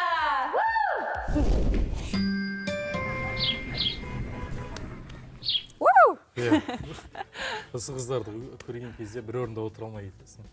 Қосыла жаттығу жасағың келеді дегенім ғой. Жақсы. Түсіндім. тұрып. Қайырлы таң дейміз құрметті көрермен тағы да. Ә, бізде дәл қазір осы тақырыптан алыстамаймыз. Денсаулық денсаулық және денсаулық. Ә, балаларға арналған жаттығуларды массаж түрлерін көрсететін арнайы маман келіп отыр бекзат бағдәулет. Шақырайық студиямызға. Иә массаж маманы бекзат ханым. Келіңіз. Қош келдіңіз. Қош келдіңіз. төр сіздікі. Қандай әдемісіз. Қандай массаж мамандары сәндісіз. иә бекзат ханым негізі буын аурулар деп айтып жатырмыз ғой. Бұрын әже аталарымыз үлкен кісілер Иә. ә, мінекей мына жерім ауырып отыр тізем ауырып Сырқырап отыр сырқырап отыр деген секілді еститін едік қазір балалар да ауыратын болып жатыр екен. Және оған ата аналар мән бермейтін көрінеді. Қазіргі таңда ауру жасқа қарамайтын болып кетті. Бірақ буын ауруы буын ауру ежелден балаларда да болады. Біз енді кішкентай кезімізде есімде қалып соны енді түсініп жатырмын. Аяғым ауырып тұрса қош сен де бойың өсіп жатыр ғой деген сияқты иә? Иә, иә, елемей иә, қалдырып қоятын. Бой өсерің шығар деп. Иә бірақ ол біздің заманымызда ішпек жемек ортамыз бәрі дұрыс қой. Біз кешкене ә, телефонда отырмаймыз. Ә, көшеден ә, базардың ішпек жемін көп жемейміз ғой ол заманда бізде ә, денемізге енетін дәрумендер негізі таза тамақтан келетін иә? Бірақ ол заманда біз көп витамин міне жемейтінбіз. Жеңіл аяқтың қақсаулары болатын. Сонымен өтіп кететін біраз берсе кальций бірден беріп қоятын. Ал ендігі заманның балаларына олай жеңіл қарауға болмайды. Не үшін? Қазіргі таңда ауру жасқа қарамай кетті деп отырмыз. Ғой өйткені біздің ортамыз болсын ішпек жеміміз болсын заман дамыған сайын керісінше біздің денсаулығымыз кері кетіп бара жатыр. Иә. қазір екі жастан бастап тіпті бір жастан бастап балаларда қақсау сүйектің қақсауы иә? Онда иә былай істейікші онда нақты мысал көрсетейік көрерменге иә бізде ә, еділді шақырып құрметті қонағымыз иә. Еділ балақай ассалаумағалейкум кел. Ә, Жайғаса қасына келіп жайғасып отырып алсаң сенікі. болады. Қазір мен баладан- еділдің мысалында көрсетсеңіз қай жер ауруы мүмкін қалай емдеуге болады енді қазір көрсетейін балаларда ә, мына аз буындар ұсақ буындар ә, үлкен буындар бүкіл денелік буындар ау- қақсау аурулар Иә. болады. Бұл бастабында балада айтуы мүмкін менің бір жерім қақсап ауырып тұр немесе ә, буындар ісінуі мүмкін. Немесе кейбір кісілер айтады баламда үнемі температура болады ешбір себебін таппай жатыр дейді. Бұның өзі алдыңғы алты ай бұрын беретін сигнал. Яғни буын ауруында алты ай бұрын болатын аурудың белгілері қандай десеңіздер балада кішкене жеңіл түрде қақсап ауру сосын температура томп қалшылдау сосын денелерінде яғни мына буынның айналасында бөртпелер шығатын болса онда сіз а, ең жақсы баланы бірден ата аналар бірден дәрігерге апару керек. Дәрігерге апардық сізге мінекей келіп тұр жаныңызда. Жақсы. қалай емдейміз? Нүктелі массаж деген енді қараңыздар бұның ә, несі әртүрлі болады иә? Бірінші баланы толығымен тексертіп алу керек. Яғни әртүрлі маманға бармастан бұрын ең жақсы дәрігердің балалардың дәрігердің өзінен өтіп тексертуге қандай тексеру болады? Егер де балада ә, жаңа айтылып кеткендей белгілер болса яғни ұсақ буын тіпті мына саусақ буындарына дейін ісініп немесе бүгілмейтін таңертең тұрған кезде сіресіп бүгілмейтін ісіну сосын жаңағыдай қызу сосын балада қан аздық сосын мына көздің нашар көруі буынға байланысты. Иә оның бәрі әсер етеді ықпал жасайды. Сондай түрлі белгілер болған жағдайда ең жақсы дәрігерге барады. Ол жерде қандай тексеру өтеді десеңіздер яғни бірінші анализдер алады иә. Қаннан несептен сосын тіпті буынның өзінен сұйықтықтарды алып тексереді. Өйткені кейбіреулерде мына тізеге тізенің әдетте бір апалардың тізелерін көріп жатасыздар қатты неткен кезде өзгеріп кетеді. Ондай жағдай балаларда болуы мүмкін. Ол қандай жағдайда? Өте асқынып кеткен буын аурулары кейбіреулерде балаларда спираз ә, псориаз болады. Жаңылып кеттім псориаз псориаздың өзі буынға әсер етеді. Бұл енді тері ауруларымен бұның не қатысы бар? Әртүрлі қабыну тудырады. Өйткені баланың өзіндік имму- ә, иммундық жүйесі бұзылғандықтан ол өзі сау денесіне ә, шабуыл жасайды міне. Бірақ бұның нақты себебін әлі күнге дейін ә, медицина саласында әлі зерттеліп табылмады бірақ үлкен жақта мына ә, генетикалық фактормен қоршаған ортаның факторы ол міндетті түрде әсер етеді. Енді бала үнемі далада суықта жұмыс жасамайды ғой. Бұл суық тигізетін дейтін үлкен жақтан балаларда жаңағы түрлі қабынулардан келіп дамиды. Жаңа өзінің ішкі қос бұзылады дедің ғой. Ол неден? Қазір бізде ішпек жемек әлсіз нашар. Сосын бізде балаларда иә негізі ондай жеңіл тамақ тез дайындалатын тамақтарды көшенің тамақтарын негізі бермеу керек балаға жиі. Енді ә, мінекей еділдің құдай сақтасын дегенмен аулақ қылсын ә, дегенмен ә, қолы ауырды дейік мысалы. Иә. не істейміз енді балаларды егер де шағымдалып жатса мына білезік буындары иә шынтақ буындар қақсауы мүмкін иық буындары қақсауы мүмкін осы жерде біз үй жағдайында ата аналар өздері массаж жасауға әбден болады. Енді Қалай? қолдағы маңызды бір бірнеше нүктелерді көрсетіп кетейін. Осыларды уқалау арқылы мына буын қолдың болсын аяқтың болсын дененің қан айналысын жақсарту арқылы әсер етеді буын көбінесе екі жақтылы жүреді. Екі екі қолда да ә, кезегімен жүруі мүмкін немесе көбінесе бір жағы ауыруы мүмкін. Сондықтан біз массаж жасаған кезде екі қолдағында тең жасай кету керек. Бірінші қолды бірдей ұстап отыру керек. Ә, алдымен біреуін жасап сосын келесі қолға түссек те болады. Бірінші нүктеміз бұл өте маңызды нүктелердің бірі. Әдетте бізде ауырсынуды басатын наркоздық рөл атқаратын маңызды нүкте бұл яғни бірінші екінші алақан сүйек аралығының екінші алақан сүйек жағы мына жерде тұрады. Бұны басқанда кішкене ә, керіп сыздаған әсер етеді. Өздеріңіз істеп көрсеңіздер Ортасы, иә, мына жер? иә. Бұл ә, тек балаларға емес үлкендерге де әсер етеді. Бұл бүкіл дененің ауырсынуын басатын яғни бұны біз инемен емдеу барысында операция барысында наркоздық ролға да қолданамыз. Көрдіңіз ба?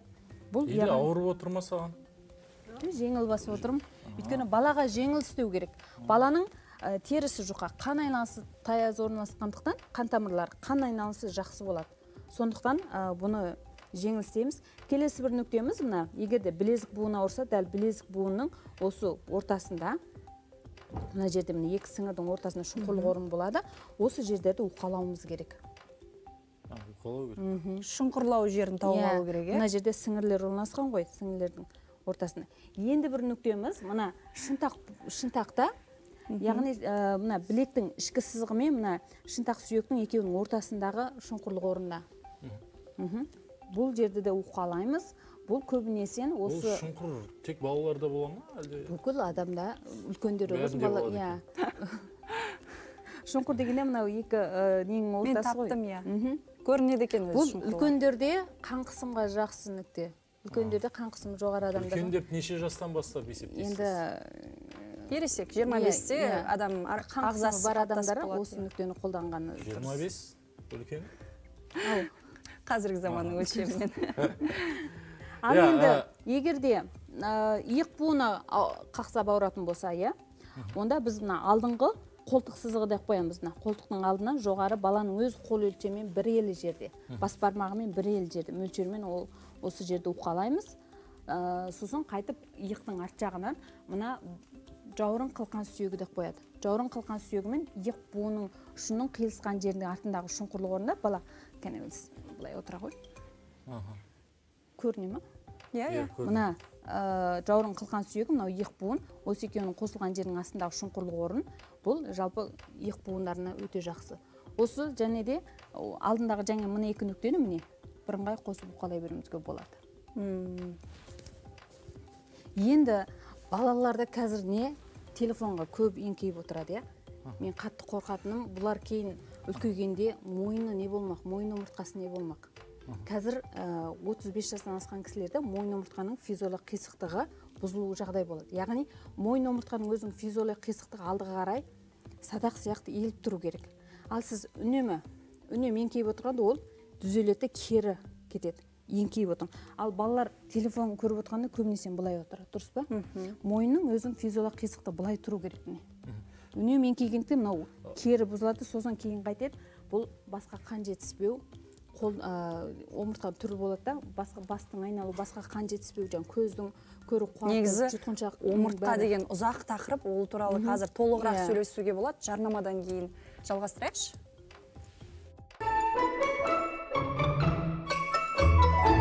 Оян.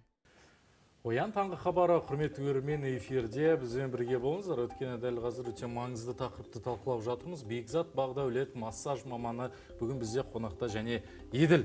Еділ қайырлы таң. Омыртқаның тақырыбына келдік. Иә жаңа да айтып кеттік қой балалар Иә. үнемі еңкейіп отырудан мына омыртқаның несі бұзылады. Ал енді үй жағдайында біз осы бірнеше нүктелерді көрсетіп кетейін маңызды уқалауға болатын.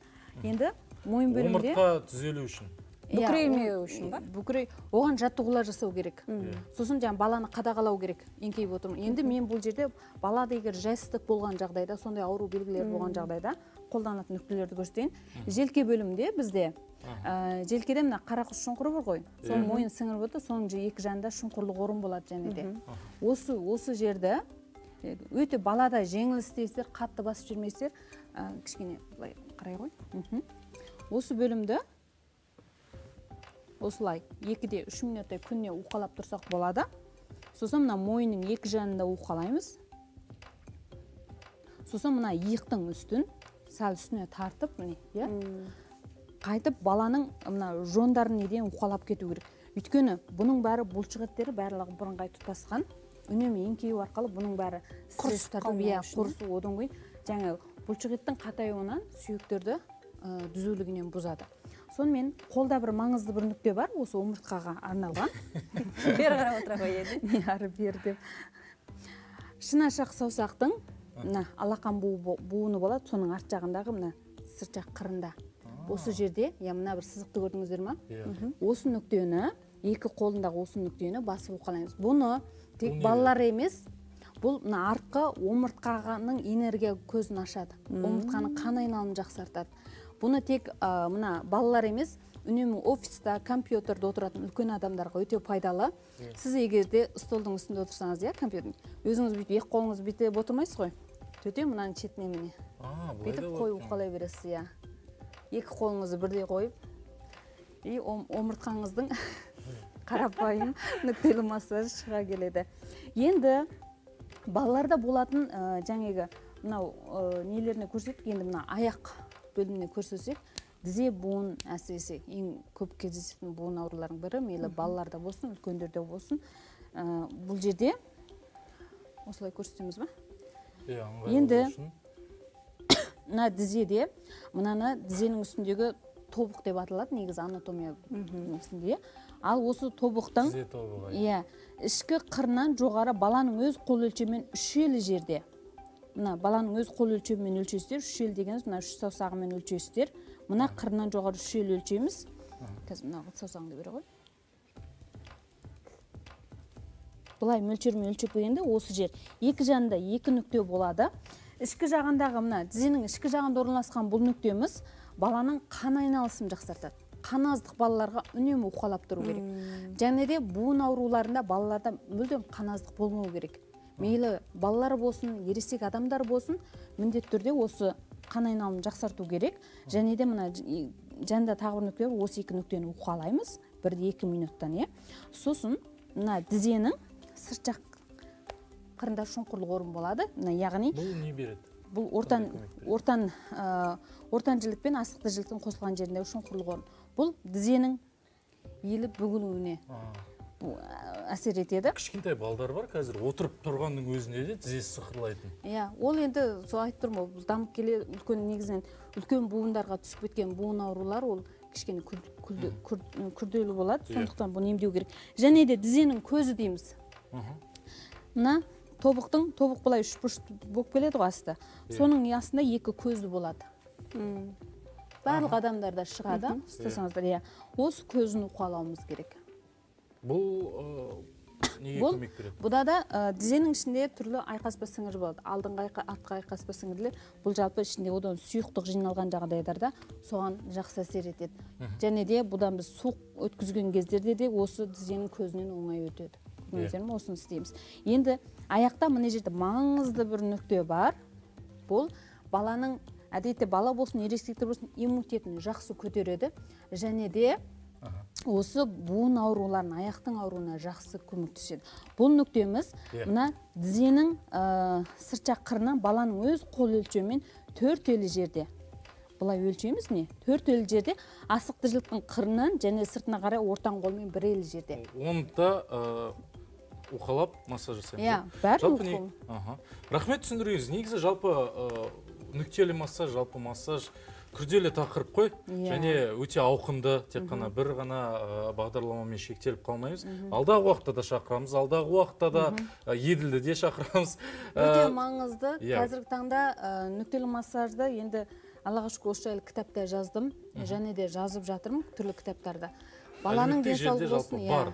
Зерттеп қарап тауып алуға болады иә. иә. алдағы уақытта да сіздер сізді шақырамыз еділді шақырамыз. Ы, жалпы балаға көмектесу ғой негізі. Иә буындарды емдейтін тағы бір жол бар ол билеу кеттік ән Иә. тыңдайық бекзат бағдәулет массаж маманы бүгін бізде қонақта болды рахмет. Дейін біз сіздерге ә, жеткізер ақпаратымыз бар. Соңғы уақытта балалардың оқыс оқиғаларға тап болғандары көбейді. Ал баланы қараусыз қалдыратын ата аналарға қандай шара қолдану керек?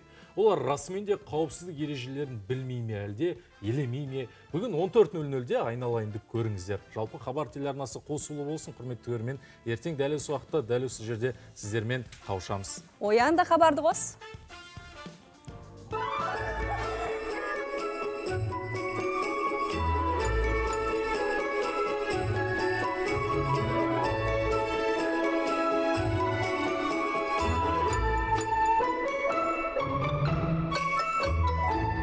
Оян.